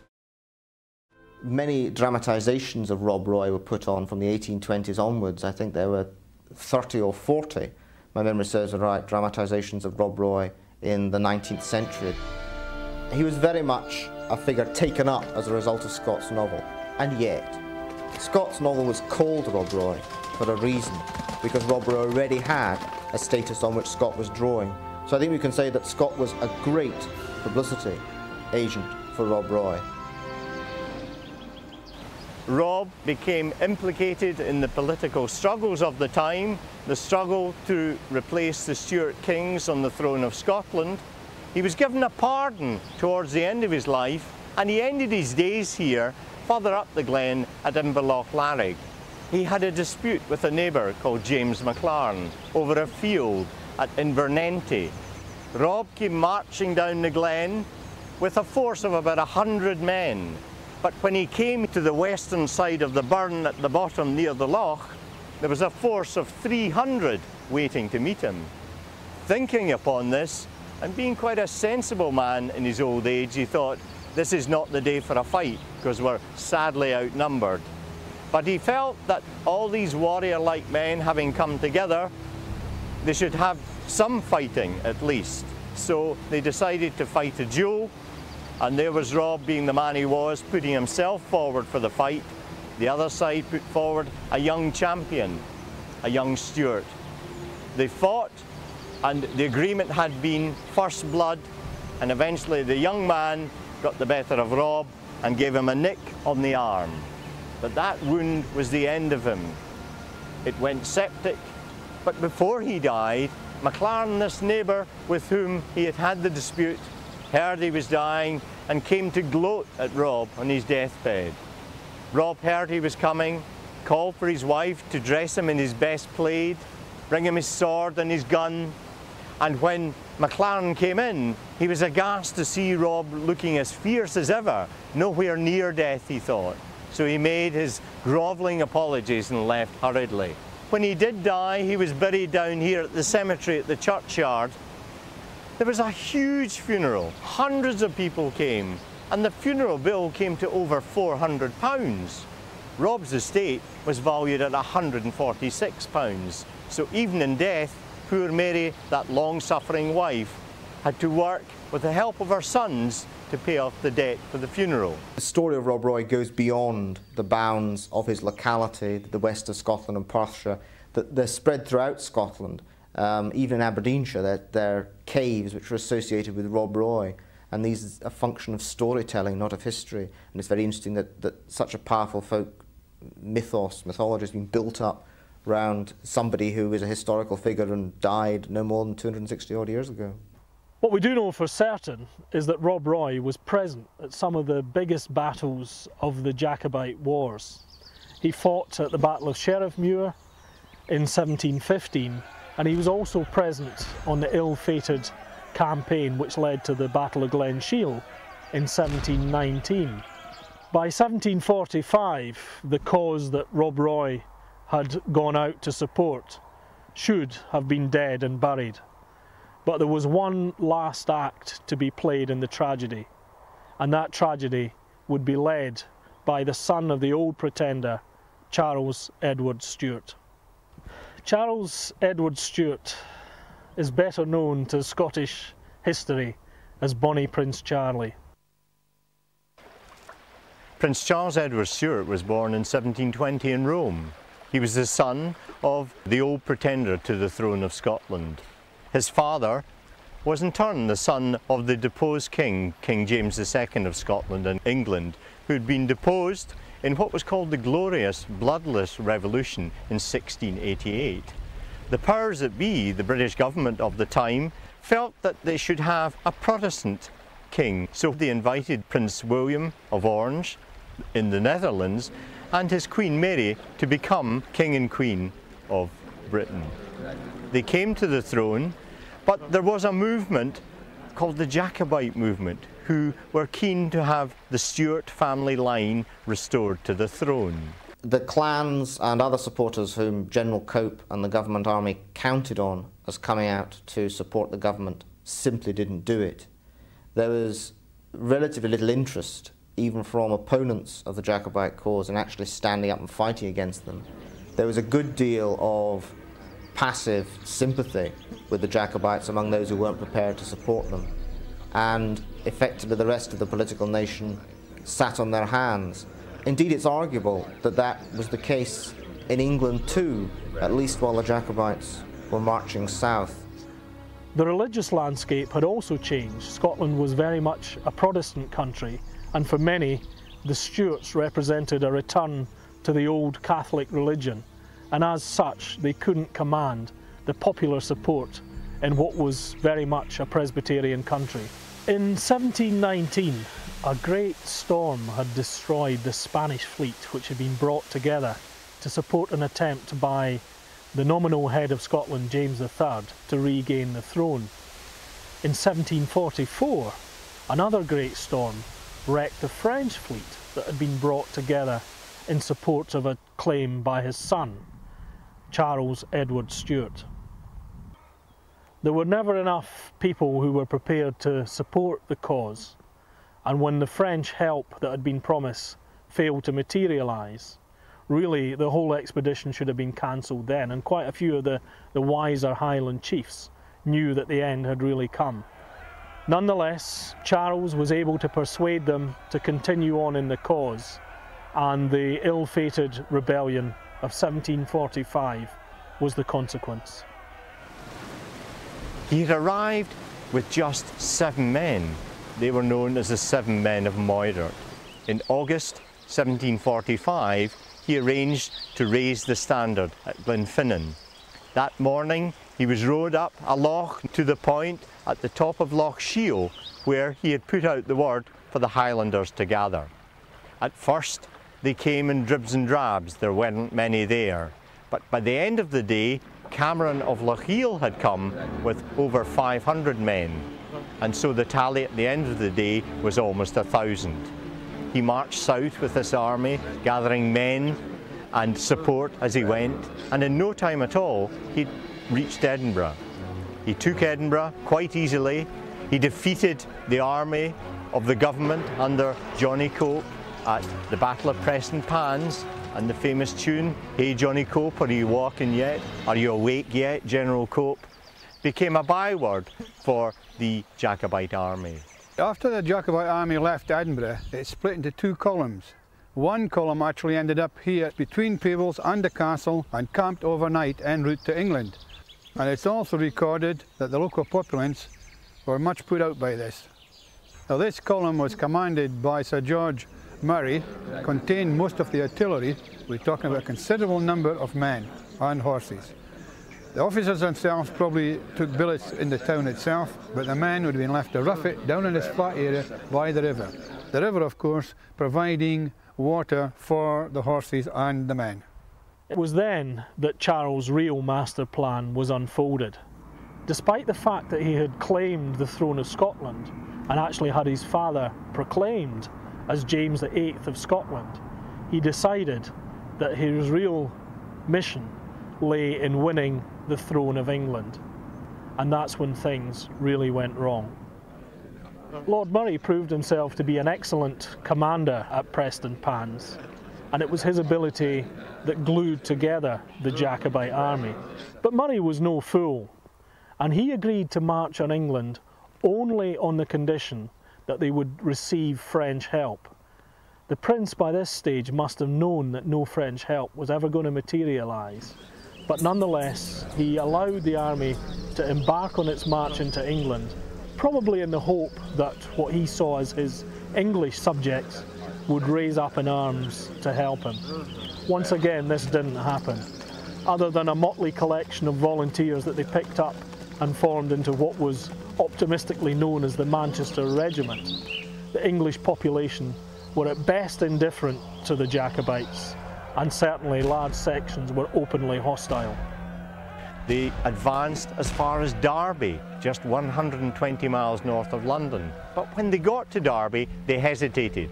They had a council of war, and Charlie was advised that he should turn back. But in London, they were making arrangements to move the king from town. And it was at that time our national anthem, God Save the King, was penned. Because there was such a fear that these wild Highlanders would come and take the town. Murray and the other chiefs were prepared to allow the charade of an invasion to progress as far as Derby, but by then they knew the army had to be turned for home. Having done so, they were able to forge together a victory over the forces of Hawley who were pursuing them into Scotland. But ultimately, they were once again forced to retreat, this time to Inverness, the Highland capital. Even at Inverness, they were still pursued by William, Duke of Cumberland, second son of George II. Cumberland was on a personal mission to ensure there would never again be a Jacobite rebellion in Scotland, and as such, he used the government forces to ruthlessly suppress the Highland Army in the Battle of Culloden in April 1746. Cumberland and his men, an army of about 9,000 strong, were camped at Nairn, not far from Inverness. And the prince heard of this, he also heard it was Cumberland's birthday. And he reckoned that Cumberland would be entertaining his army to a night of celebration in honour of his birthday. So they planned a night raid, a night attack. On their approach, the guard was alerted and the attack was aborted. The troops, hungry and tired now, made their way back to Culloden Moor. The next morning, the government army marched up. The Highlanders stood in tight ranks. Against them was a highly regimented army of 9,000 troops, mostly regular troops. But believe it or not, there was some Scots fighting on that side as well, those Scots who took the government side. There was some confusion in the Jacobite ranks as opposed to the giving of orders. The command to charge was not passed and the English artillery wrought havoc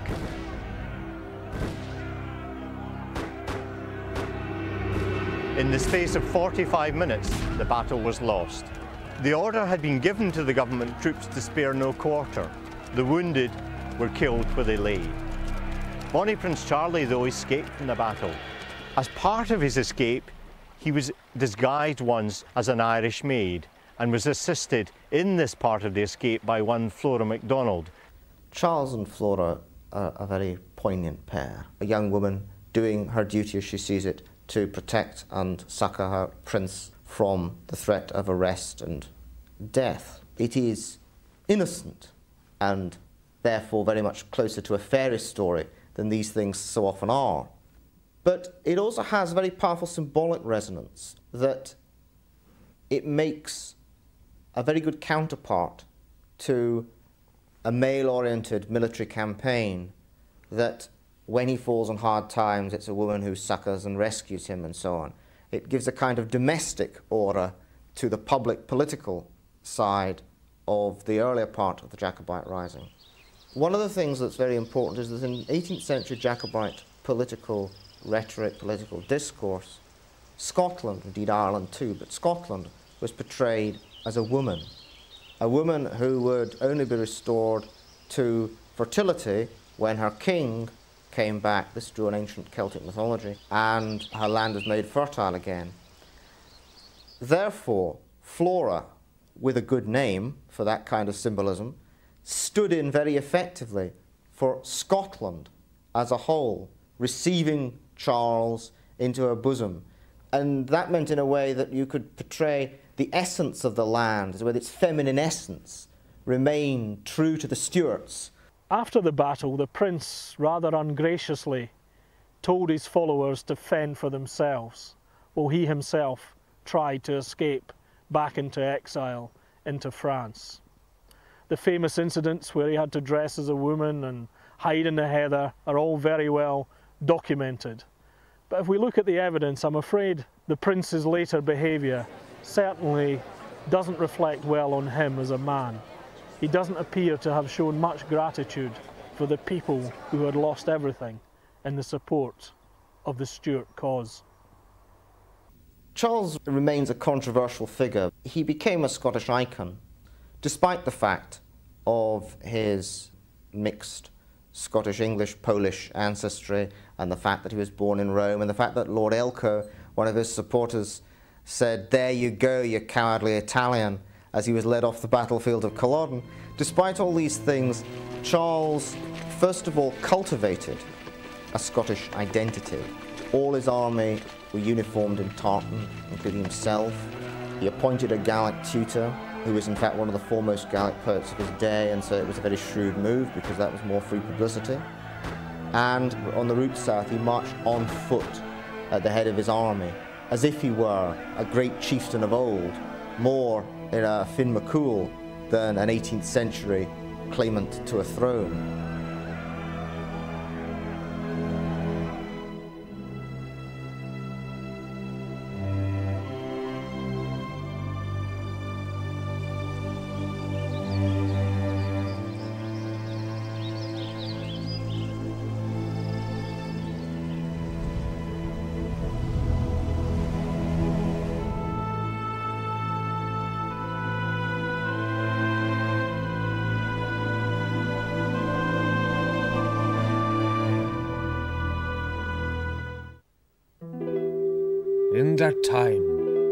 Saxons strengthened in multitude and grew in Britain.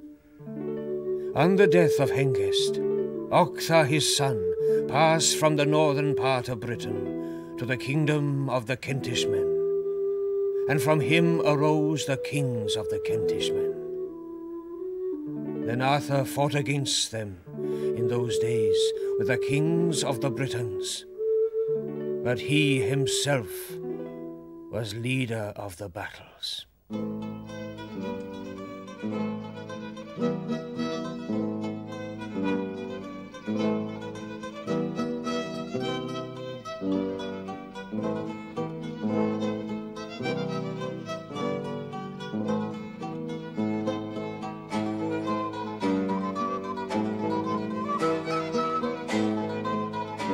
Through 14 centuries, the shadowy but powerful figure of Arthur has been distorted by poets, chroniclers, politicians and kings.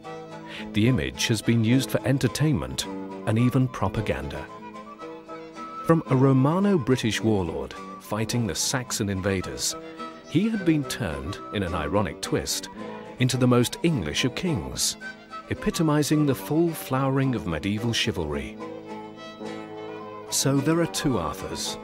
The armour-plated king enthroned in Camelot at his round table, surrounded by goodly knights and fair ladies, dispensing justice and defending the weak and oppressed.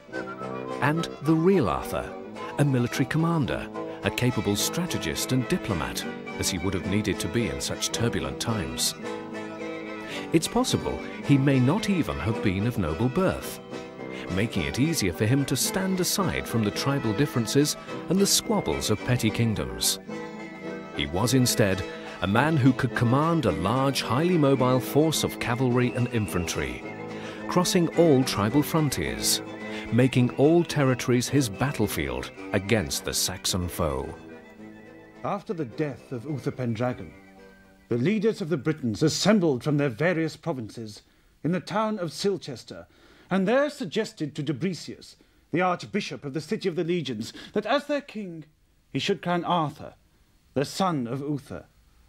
Necessity urged them on, for as soon as the Saxons heard of the death of Uther, they invited their own countrymen over from Germany, appointed Colgrin as their leader, and began to do their utmost to exterminate the Britons. They had already overrun all that section of the island which stretches from the river Humber to the sea named Caithness. Dubricius lamented the sad state of his country. He called the other bishops to him and bestowed the crown of the kingdom upon Arthur. Arthur was a young man, only fifteen years old, But he was of outstanding courage and generosity, and his inborn goodness gave him such grace that he was loved by almost all the people. But how could this highly successful British general have become the fanciful king of medieval legend? The answer lies partly with Geoffrey of Monmouth, a Welsh cleric of Breton descent, who was responsible for bringing Arthur to a wider audience by writing his History of the Kings of Britain in 1136. This work, properly titled the Historia Regum Britannia, was written in Latin and can be fairly described as one of the most influential books on Arthur. Well, Geoffrey of Monmouth was a fibber, I'm afraid. Uh, as his name betrays, he um, was a monk at Monmouth and then he moved to Oxford. And he was so keen on the Arthurian story that he was actually nicknamed Arthur, Geoffrey Arthur. And he was a real Arthur um, fanatic. And he wrote this book, which was uh, published in the sense that manuscript editions were published in 1139. Uh, and it purports to be a history of Britain from the day that the first settler, Brutus, a Trojan, landed in Britain at Totnes, and they used to show his footprint there about the time just before the Trojan War, and came right up to about um, the end of the um, um, 7th century AD. And he gives you conversations between prehistoric monarchs from the Bron- what would have been the Bronze Age or the early Iron Age, and uh, every adventure, and in every age he knows what's going on. But it's a, a marvelous read, and uh, that's what made it um, perhaps the greatest bestseller of the Middle Ages. And I think he was doing the job, a fair job as he saw it. He had, you do sense a twinkle in his eye when you're reading it. At one point, he says that um, an eagle on the walls of Gloucester uttered a prophecy, he said, which I would tell you if I believed it was true. Well, later on, he goes and tells you. So uh, I don't think he cared if you believed or not. And I'm, he may have been surprised at the extent to which people believed it. Geoffrey's History of the Kings of Britain might have seemed, on the face of it, a serious attempt to record British history and more particularly to portray an accurate picture of Arthur, drawn from many reliable sources. After all, Geoffrey was a churchman who had received an excellent education for his time. But it would seem that Geoffrey entered the church in order to further his literary ambitions and not because of any religious zeal. Having no recognized archaeological authorities to hold him in check, Geoffrey was free to create an Arthur in the image of his own royal patrons. Whenever I have chance to think about the history of the kings of Britain, on those occasions when I have been turning over a great many such matters in my mind, it has seemed a remarkable thing to me that, apart from such mention of them as Gildas and Bede had each made in a brilliant book on the subject, I have not been able to discover anything at all on the kings who lived here before the incarnation of Christ, or, indeed, about Arthur, and all the others who followed on after the incarnation. Yet, the deeds of these men were such that they deserve to be praised for all time. Uh, what is more, these deeds were handed joyfully down in oral tradition, just as if they had been committed to writing, by many peoples who had only their memory to rely on. Geoffrey obviously felt little or no need to depict Arthur as he'd encountered him in the writings of the 8th century chronicler Nennius. Thus, his Arthur dresses and acts exactly as a 12th century monarch, and his descriptions of warfare and the social scene are based on his own experience. Geoffrey's intention, as far as we can tell, was not to deceive, but to entertain. He was as enthralled by the enigma of Arthur as many before him had been. With true Celtic exaggeration, he romanticized Arthur in a way that had never before been so blatant or so successful. That success was to spark off the development of a legendary Arthur. At a time when I was giving a good deal of attention to such matters, Walter, Archdeacon of Oxford, a man skilled in the art of public speaking and well informed about the history of foreign countries, presented me with a certain very ancient book written in the British language. This book, attractively composed to form a consecutive and orderly narrative, set out all the deeds of these men from Brutus, the first king of the Britons, down to Cadwallader, the son of Cadwallo. At Walter's request, I have taken the trouble to translate the book into Latin. although indeed I have been content with my own expressions and my own homely style, and I have gathered no gaudy flowers of speech in other men's gardens. If I had adorned my page with high flown rhetorical figures, I should have bored my readers, for they would have been forced to spend more time discovering the meaning of my words than in following the story. In the eight centuries that have passed since Geoffrey of Monmouth completed his great work, other writers and poets have been inspired to compose new tales of Arthur, adding fashionable elements such as courtly love and deeds of heroism based on a code of medieval chivalry. Chrétien de Troyes, the French poet, writing just 30 years after Geoffrey, added the important new ingredients of the Grail and many new knights as part of Arthur's court, notably Sir Lancelot. He is also responsible for naming Arthur's stronghold as Camelot, a name he may have borrowed and corrupted from the Roman name for Colchester, Camulodunum. Robert de Boron, writing around 1200, introduced the concept of the sword in the stone, and in the generations that followed, author after author added to the story, embroidering and inventing, culminating in Sir Thomas Malory's Morte d'Arthur, and nearer to the present, Tennyson's Idylls of the King. These are all celebrations of an Arthur many times removed from the man who united the British against the heathen Saxons. There was undoubtedly an Arthur long before Geoffrey wrote, and he'd picked up a real character. And so are some of the others. For instance, um, Guinevere uh, appears in Welsh stories, which are certainly older than Geoffrey of Monmouth, as uh, Gwenhwyvar. And um, some of the knights appear too, like Kay and Bedivere, who are Kai and Bedwyr. Uh, but Lancelot doesn't, unfortunately. He comes clearly from uh, French um, stories written at the end of the 12th century, slightly later. Though that again includes very old myths of the Lady of the Lake and so forth. Um, the, the sword and the stone, I'm sure, is older and must represent an, an ancient myth which you find in other cultures. The um, round table, I think, must also go back to very old ideas. To me, the most striking episode, and the one which most people remember, which I'm sure is very much older, and that is the mysterious birth of Arthur, which people will remember when um, Uther Pendragon is disguised by Merlin's magic as the husband of the beautiful Igerna on Tintagel, and he sleeps with her that night, and that night is begotten the infant Arthur, who's later born and becomes king. Um, well, that's a very old story, much older than Geoffrey of Monmouth. Before Geoffrey romanticised and popularised him, Arthur was a name heard in songs and folk tales, remembered and passed on around the winter firesides of those in whom the Celtic blood still ran strong. Small wonder then, perhaps, that his story was so helpful and so flattering to Henry I and to his bastard son Robert. What better ancestor for a Norman king to claim than Arthur? Most renowned and heroic of all the kings who ruled before the Saxons. After all, in Geoffrey's time, it was generally believed by folk that Arthur had actually been anointed and crowned King of England a mere 600 years before.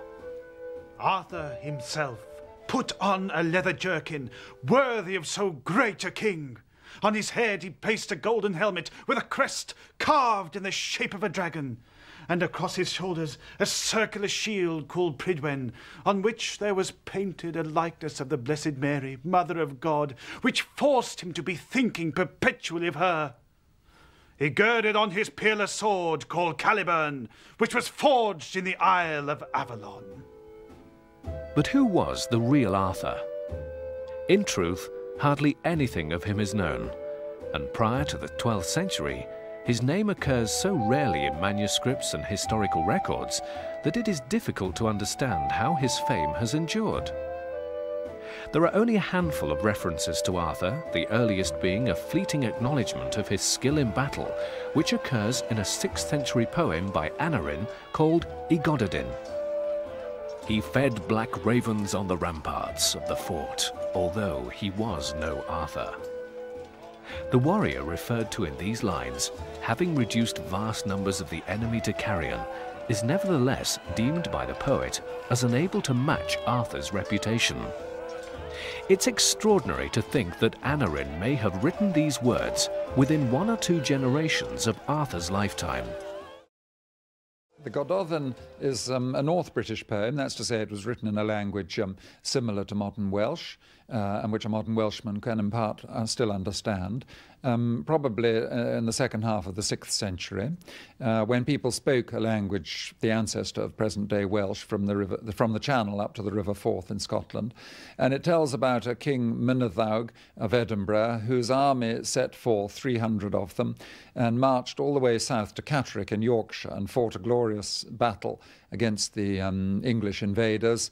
And there they um, were killed, but they died gloriously, as in the charge of the Light Brigade and then this poem was written uh, to commemorate them.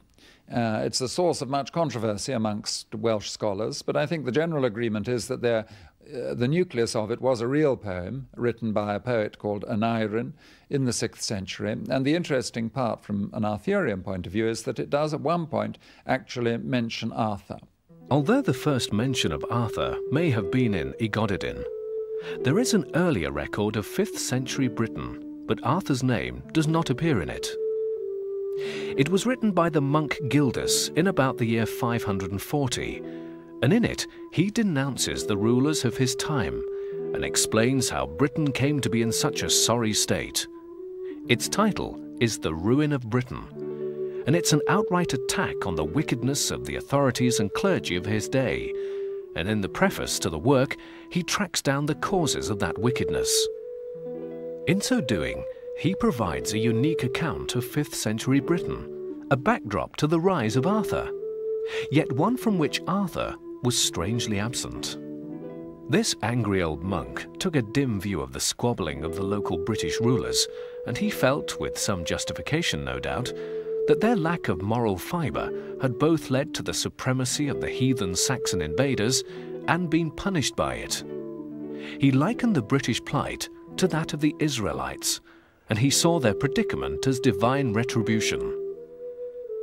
Gildas was a northerner, possibly a Pict born on the wrong side of the Roman frontier, but lived most of his life in the south, and in that fact may lie the answer to his silence about Arthur.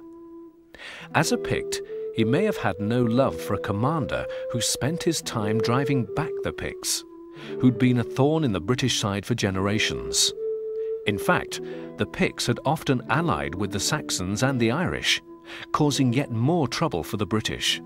Gildas was a cleric writing in the 6th century, and so he is unique and extraordinary from an Arthurian point of view because there is somebody whom no historian doubts was actually writing, and we do have his writing uh, from them about the, sometime in the first half of the 6th century. Uh, but what's disappointing is that he doesn't mention Arthur. This has been taken by some historians to disparage the whole Arthurian story and to say, well, if the one person living at the time who wrote about it in some depth and who was lived um, within the time of people who would have actually known him and doesn't mention him, then how can anyone suggest he lived? He seems quite clearly, for reasons which I don't think we'll ever know, not to, be able to tell you about certain things. For example, it's an absolutely undoubted fact that the Anglo Saxon invaders were in possession of a very large part of eastern and southern Britain at this time. Yet you wouldn't know that from Gildas. So it's not extraordinary that he doesn't mention something very important. He doesn't tell you about the kings of North Britain who were reigning at that time. He's writing under some political stress. It seems to me that's quite clear, and that he and that he could very easily have a reason for not writing about Arthur. Up until the early 400s, Britain had been prosperous and sophisticated. A true Roman province in which all freeborn Britons were Roman citizens and proud to be so. British society was headed by landed gentry in whose veins ran the blood of Celt, Roman, and in some instances a mixture of other nationalities from the Roman world. There was a thriving agricultural and industrial economy due to Roman efficiency and organisation, which had controlled the province of Britain for just under four centuries. The breathtaking spectacle of a hoard belonging to a prosperous Romano-British family of the time was recently uncovered in Suffolk. The exquisite workmanship and richness of the jewellery and the household items revealed bear witness that the owners of this treasure were living in style. None of this changed immediately when Rome severed its links with Britain in the year 410. When the Roman Emperor Honorius told Britain to look to its own defences, the former province was remarkably successful in doing just that, at least for a generation.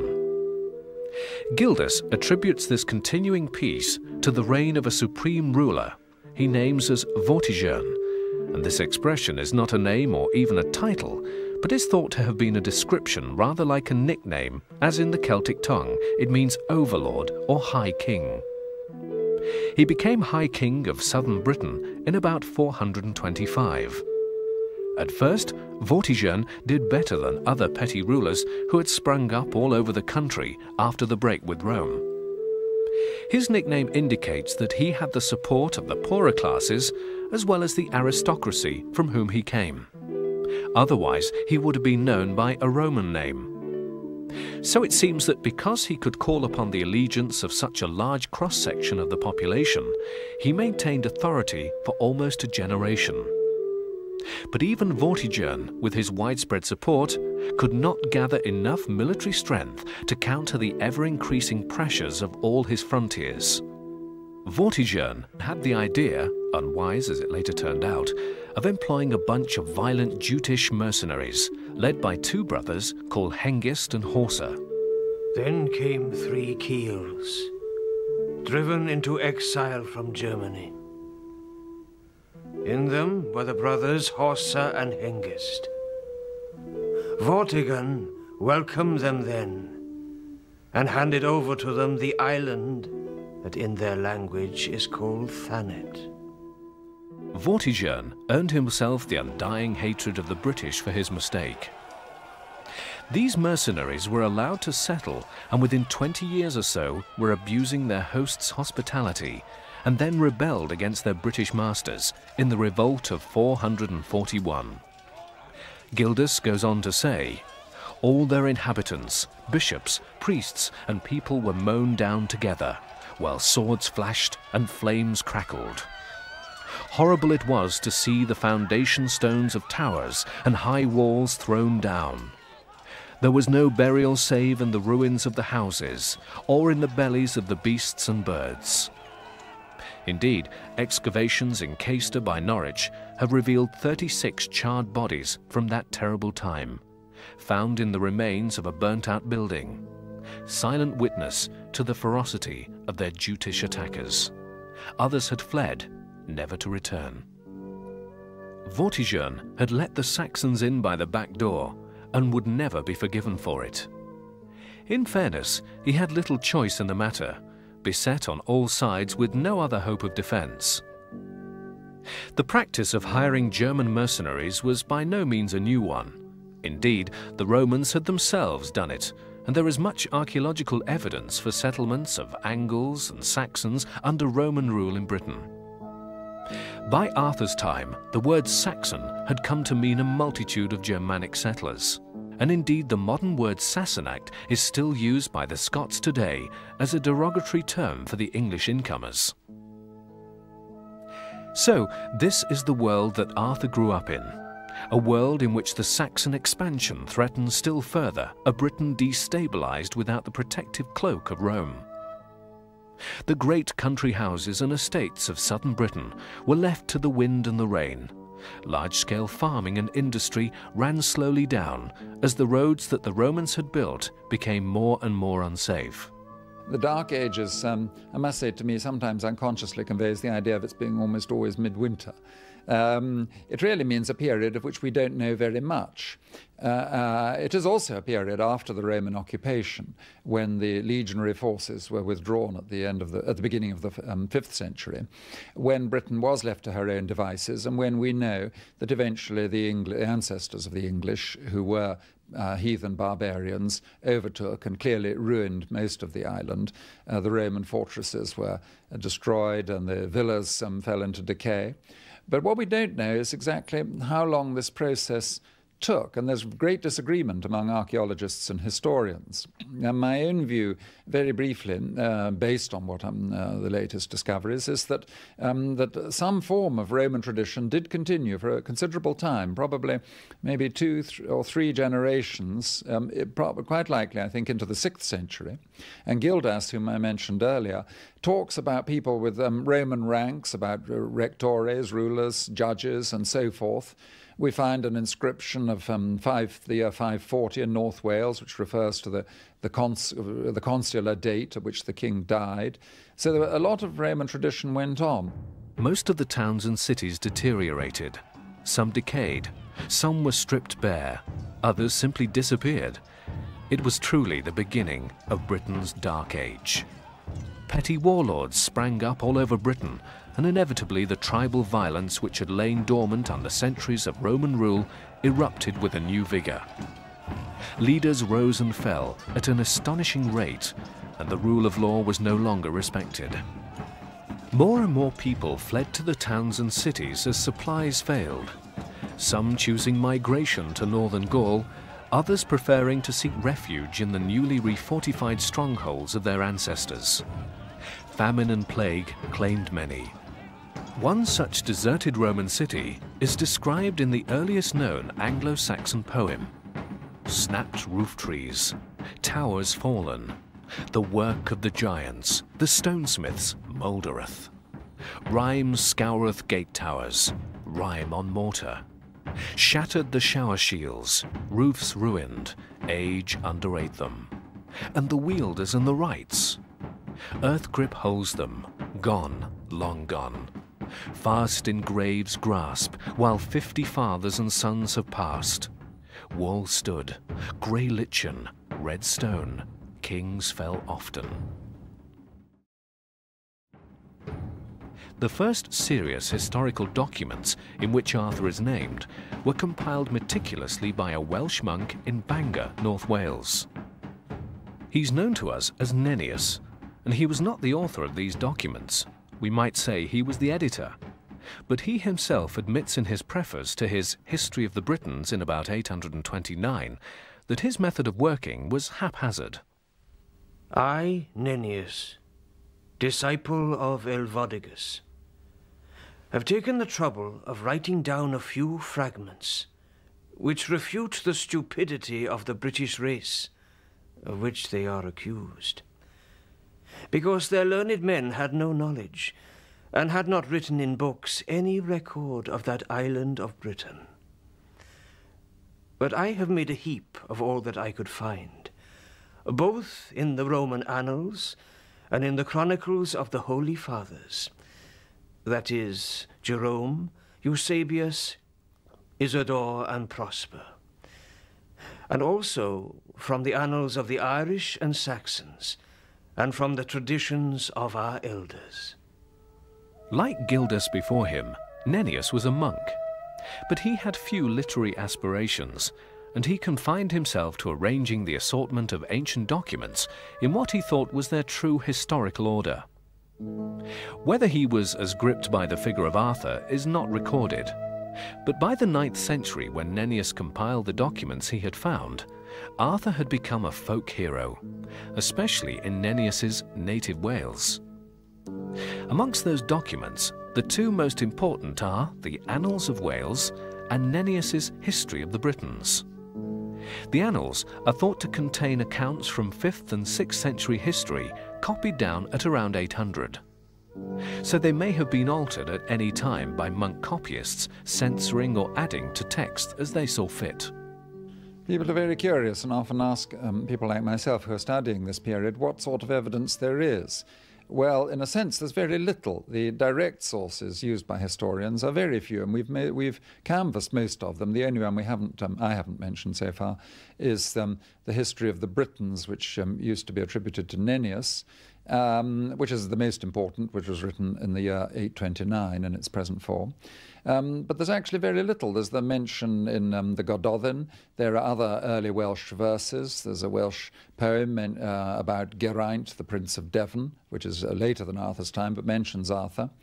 So there's not a great deal, but uh, what there is, is is highly suggestive. And there are other ways of examining the evidence. There is, of course, archaeology doesn't really tell us very much, unfortunately. It tells us a great deal about the conditions of life, to some extent about political conditions, because we can fortresses have been excavated and so on, but we don't really, for the most part, know who lived in those fortresses, and we don't really know whether Arthur lived in one or another.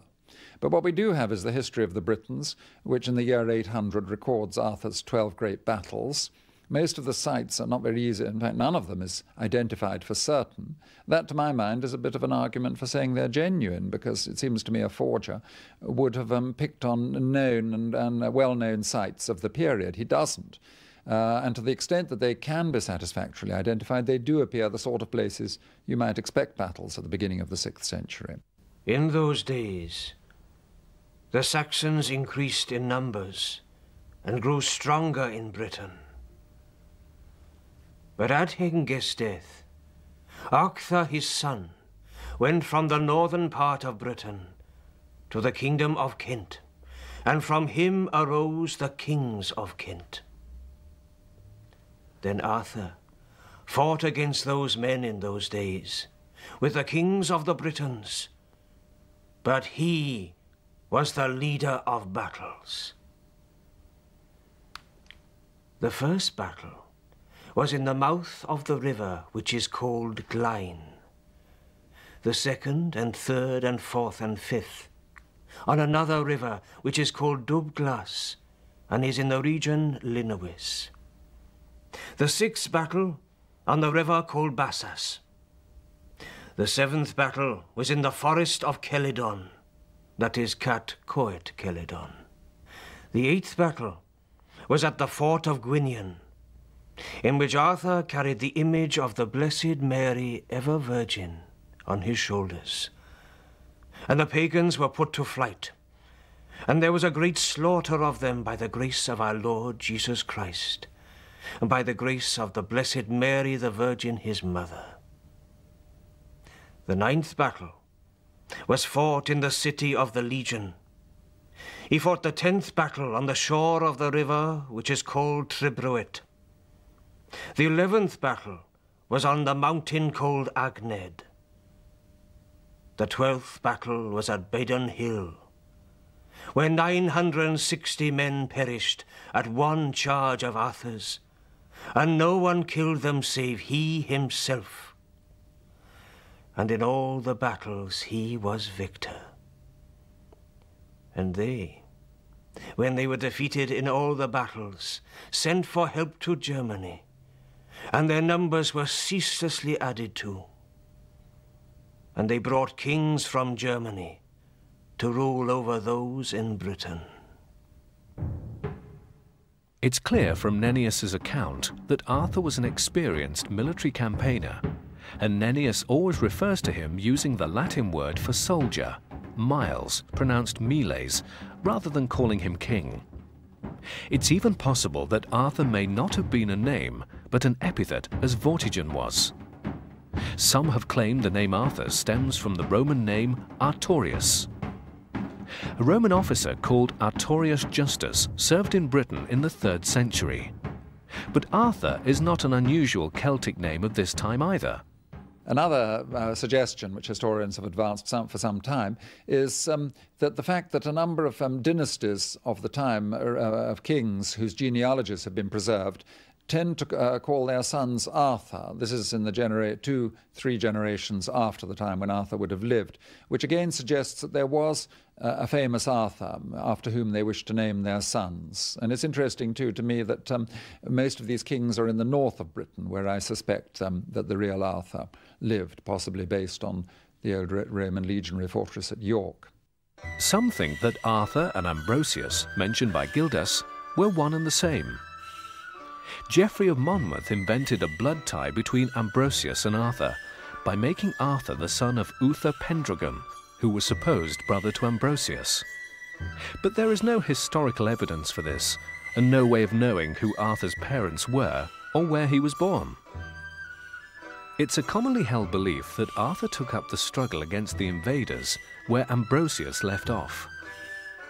Unusually, Gildas names Ambrosius, where he'd kept silence about other figures, notably Arthur.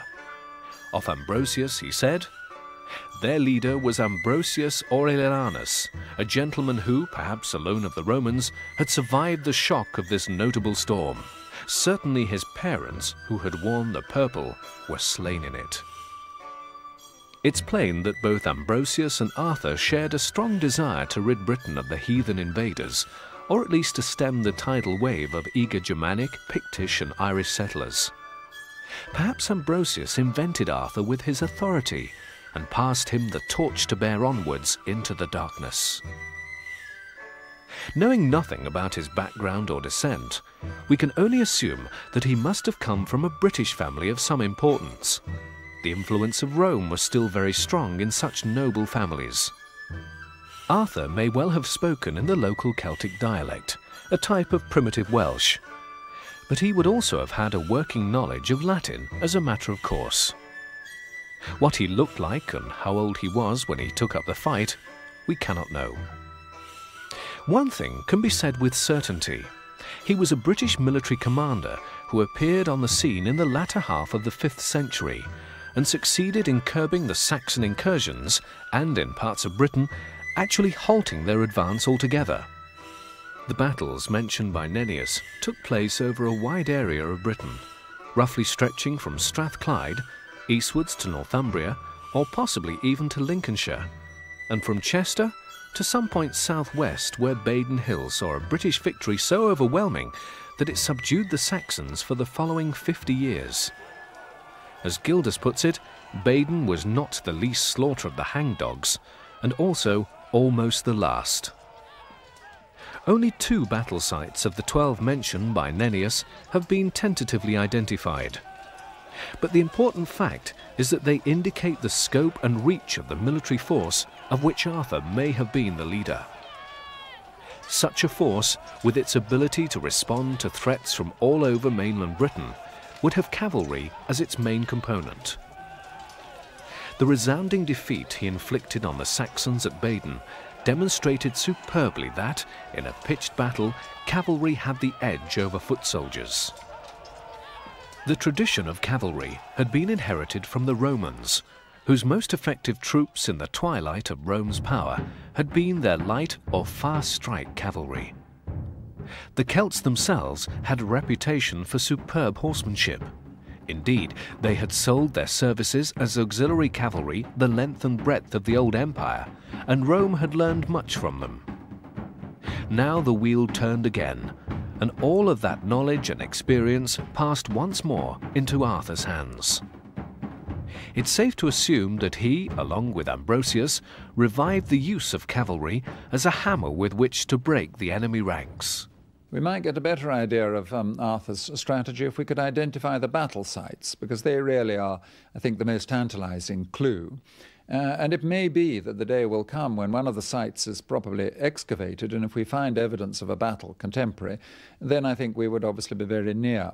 Uh, but we wouldn't know, for instance, whether the battles occurred in successive years or all in the space of one campaign or over a time of the whole of Arthur's lifetime, so we wouldn't know much. Um, it's, it's from the early Welsh poetry we know how the battle was fought. It was, um, they were very stylized. Um, there was considerable use of, of, of, cavalry, as I say. The nobles prided themselves rather like medieval knights, so there is a resemblance. Um, but there's nothing unusual about using cavalry. In fact, cavalry was usual among the Britons at that time, and um, I don't believe, and there's no evidence to suggest that this was imitating, as was suggested um, in the Oxford History of England, the armoured knights, the cataphracti of the late Roman Empire. Uh, I don't think so. This was um, an aristocratic form of warfare from these um, hill forts where they had their horses. Uh, and I think, as much as anything, it reflects the um, aristocratic prejudice of the poets who are not who are writing for their kings um, and are writing about what they wish to know about, just as um, medieval minstrels write about the adventures of Lancelot and Gawain riding out in armour. But it doesn't mean that everyone did. It just means that the audience wanted to hear about that. But it does still reflect an aspect of the warfare. But there is mention in the poems, allusions, um, that's not their prime interest, in um, ordered movements of troops, and there is an expression forming the battle pen, which does give the impression of a, forming up a, a phalanx, maybe, of um, men with spears and shields. Uh, and it would be inconceivable that there wasn't um, some sort of discipline and order, and that indeed that the king, like Arthur, who carved a name for himself, and uh, if it was he won the great victory at Mount Badon, didn't make use of um, superior tactics to his adversaries. Equally, the adversaries were obviously uh, very formidable indeed, or, or we wouldn't be speaking English at this interview. In contrast to Arthur's highly mobile and disciplined men, the Saxons mostly fought on foot, as indeed they continued to do right up to the Battle of Hastings. They had no apparent strategy because they had no sense of central leadership. Small bands of Saxons in one community would be loyal to one chief, but fought mainly for the love of it, with the added incentive of rich rewards if they won. Military discipline was not their strong suit, and their war gear varied according to their means. Unlike the British under Arthur, for whom uniformity and consistency of equipment, particularly horse harness, would have been essential. In a large force, particularly cavalry, standardization of essential items of equipment would have been the only practical way to make the most of horses and men. Such a demand would have been met by a cottage industry of craftsmen, armourers, leather workers, and perhaps even field surgeons, as well as the more obvious baggage train of cooks and quartermasters. The logistics of directing so complicated a piece of military machinery indicates that Arthur must have been as capable a diplomat as he was a soldier, for to keep his men and horses fully effective, vast resources would have been needed. It's not beyond the bounds of possibility that the Church, with its great wealth, was one of Arthur's main benefactors. But whether it did so willingly or with a little prompting is hard to say. Certainly, in the first few centuries following Arthur's lifetime, the record keeping clergy seem to have been unwilling to give him any credit, as Gildas' silence on the subject of Arthur may perhaps bear witness. Well, as I've said earlier, that the, the direct sources are very sparse and, for the most part, unfortunately, not that satisfactory. They require an enormous amount of discussion and evaluation. but I suppose if one were to look for a parallel, it would not be back in the imperial Roman past, uh, nor in the Knights of the Middle Ages, but it would be in what was going on in, in Gaul across the Channel at this time, which is far better documented because people were writing uh, letters and so forth, which have survived. And there we do see, I would think, a rather similar picture to Britain. For example, um, you have in northern Gaul um, a Roman leader, Syagrius, who is still acting as a Roman officer, though he's now cut off completely from um, Rome itself. Um, we have in the letters in the 5th century of Sidonius and other people, long correspondence has survived of these Roman aristocrats living on in their villas, sometimes um, perfectly peacefully and, and in, on good terms with the local Gothic king or Frankish king, writing, corresponding, even acting on their behalf. There's a description of a Gaulish um, landlord, landowner, young and dashing man called Ecdicius, who, with I think a handful of horsemen, I forget the number, a dozen, rides through the whole of a Gothic besieging army in order to relieve a city in um, southern Gaul. So if you read those sources, which are accessible, then I think that gives perhaps a more clear impression of what was going on in Britain than uh, the speculation which from much later sources which have survived in this country. And one has to remember, too, that uh, historically what happened in Gaul seems to be happening on another planet because we read that as a separate part of history. But the real Arthur, or the real people who lived at that time, the real Kai and Bedwyr, Kay and Bedivere, knew what was going on to some extent. They talked with merchants delivering wine at ports on the southern and western coasts. They themselves must occasionally have travelled there the whole enormous historical events can, can and must have taken place of which we know nothing. And I think, therefore, again, studying the history of Gaul, which is so much better documented, does give one a much um, fairer and more clear picture. Whilst British resources ensured that each man had the bare essentials, there must have been a fair amount of looting and opportunist stealing, so that as time passed, at least the higher ranks of each side would have had items such as chainmail, helmets, and possibly even swords, which had been taken from the enemy. Arthur's men may have, if they took Rome as their model, carried long straight cavalry swords, or spears, or both. They may have carried shields, but even if they didn't, they would almost certainly have worn body armour of either chainmail, leather armour, or scale. The latter is vulnerable to upward thrust, not a wise choice of armour for a cavalryman. Before Geraint, the enemy's scourge, I saw white horses, tensed red. After the war cry, bitter the grave.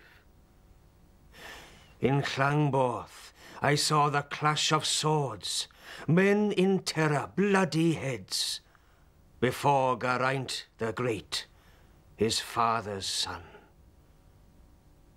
In Llongborth, I saw spurs, and men who did not flinch from spears, who drank their wine from glass that glinted. In Llongborth, I saw Arthur's heroes, who cut with steel. The Emperor, ruler of our labour. In Llongborth, Geraint was slain, heroes of the land of Dyfnaint.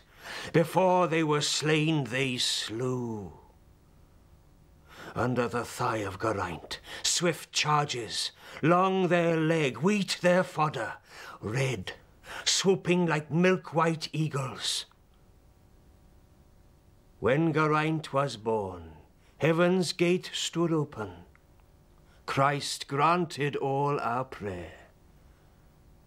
Lovely to behold, the glory of Britain.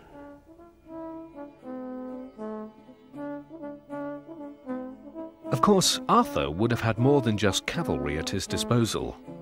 The units of foot soldiers he commanded would have been a mixture of the descendants of old soldiers who had served under the regular Roman army, volunteers from the villages and farms, and in the remaining British-controlled towns, any such town militia that could be spared, and were acceptable to the Dux Bellorum, the war leader or leader of battles as Arthur is often called. The weapon of choice for an average foot soldier on the British side is likely to have been the spear, because swords were expensive to produce, they remained almost exclusively the weapons of the nobility or those fortunate enough to acquire them on the field of battle. Shields were the principal form of protection for these poorer British folk who couldn't possibly afford body armour, let alone iron helmets. But unlike the professionally produced and finished shields of the earlier Roman troops, these would have been edged with rawhide and possibly painted in crude copies of the patterns of the Roman legions. Iron helms were rare in the Saxons' ranks too, even amongst nobility. Spears were the most common weapon on both sides.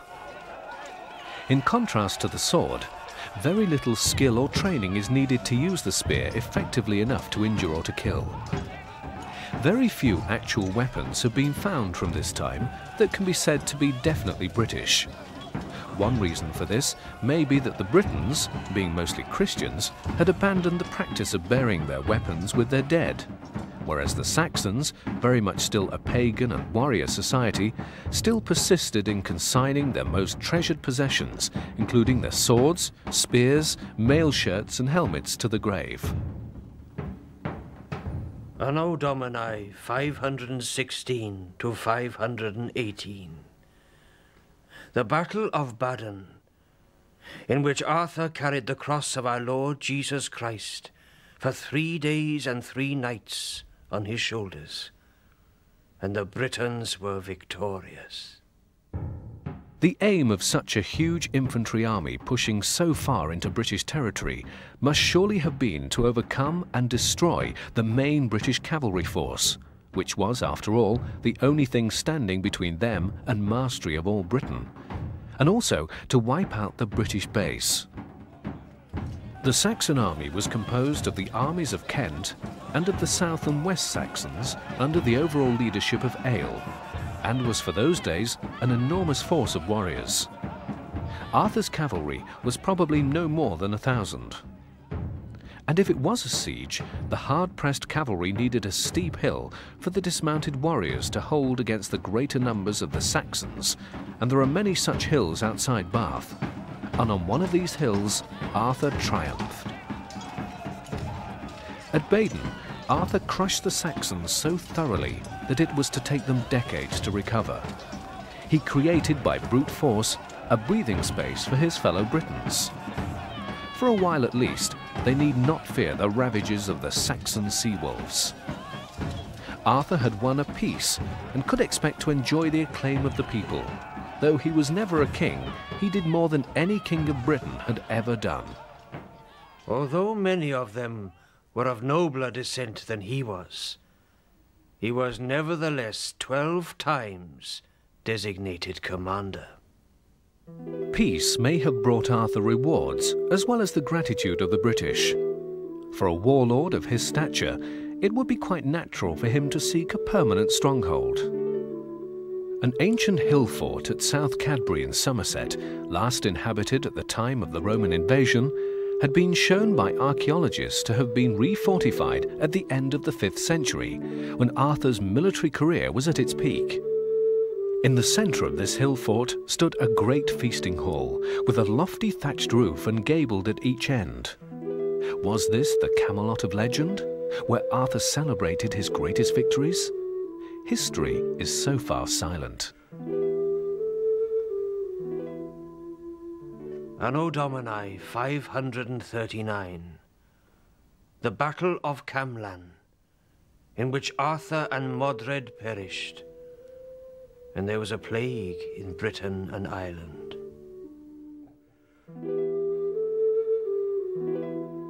Arthur got his peace, and perhaps was able to enjoy it for a short while. The Saxon threat had been warded off, and the country could once again flourish. But the old hostilities resurfaced between the petty chieftains. Civil war broke out, and Arthur may have been drawn into it. Legend says he and his son died at each other's hands in a fatal power struggle. Yet men say in parts of England that King Arthur is not dead, but had by the will of our Lord Jesus into another place, and men say that he shall come again. I will not say, it shall be so, but rather will I say that here in the world he changed his life. But many men say there is written upon his tomb this verse, here lies Arthur, the once and future king.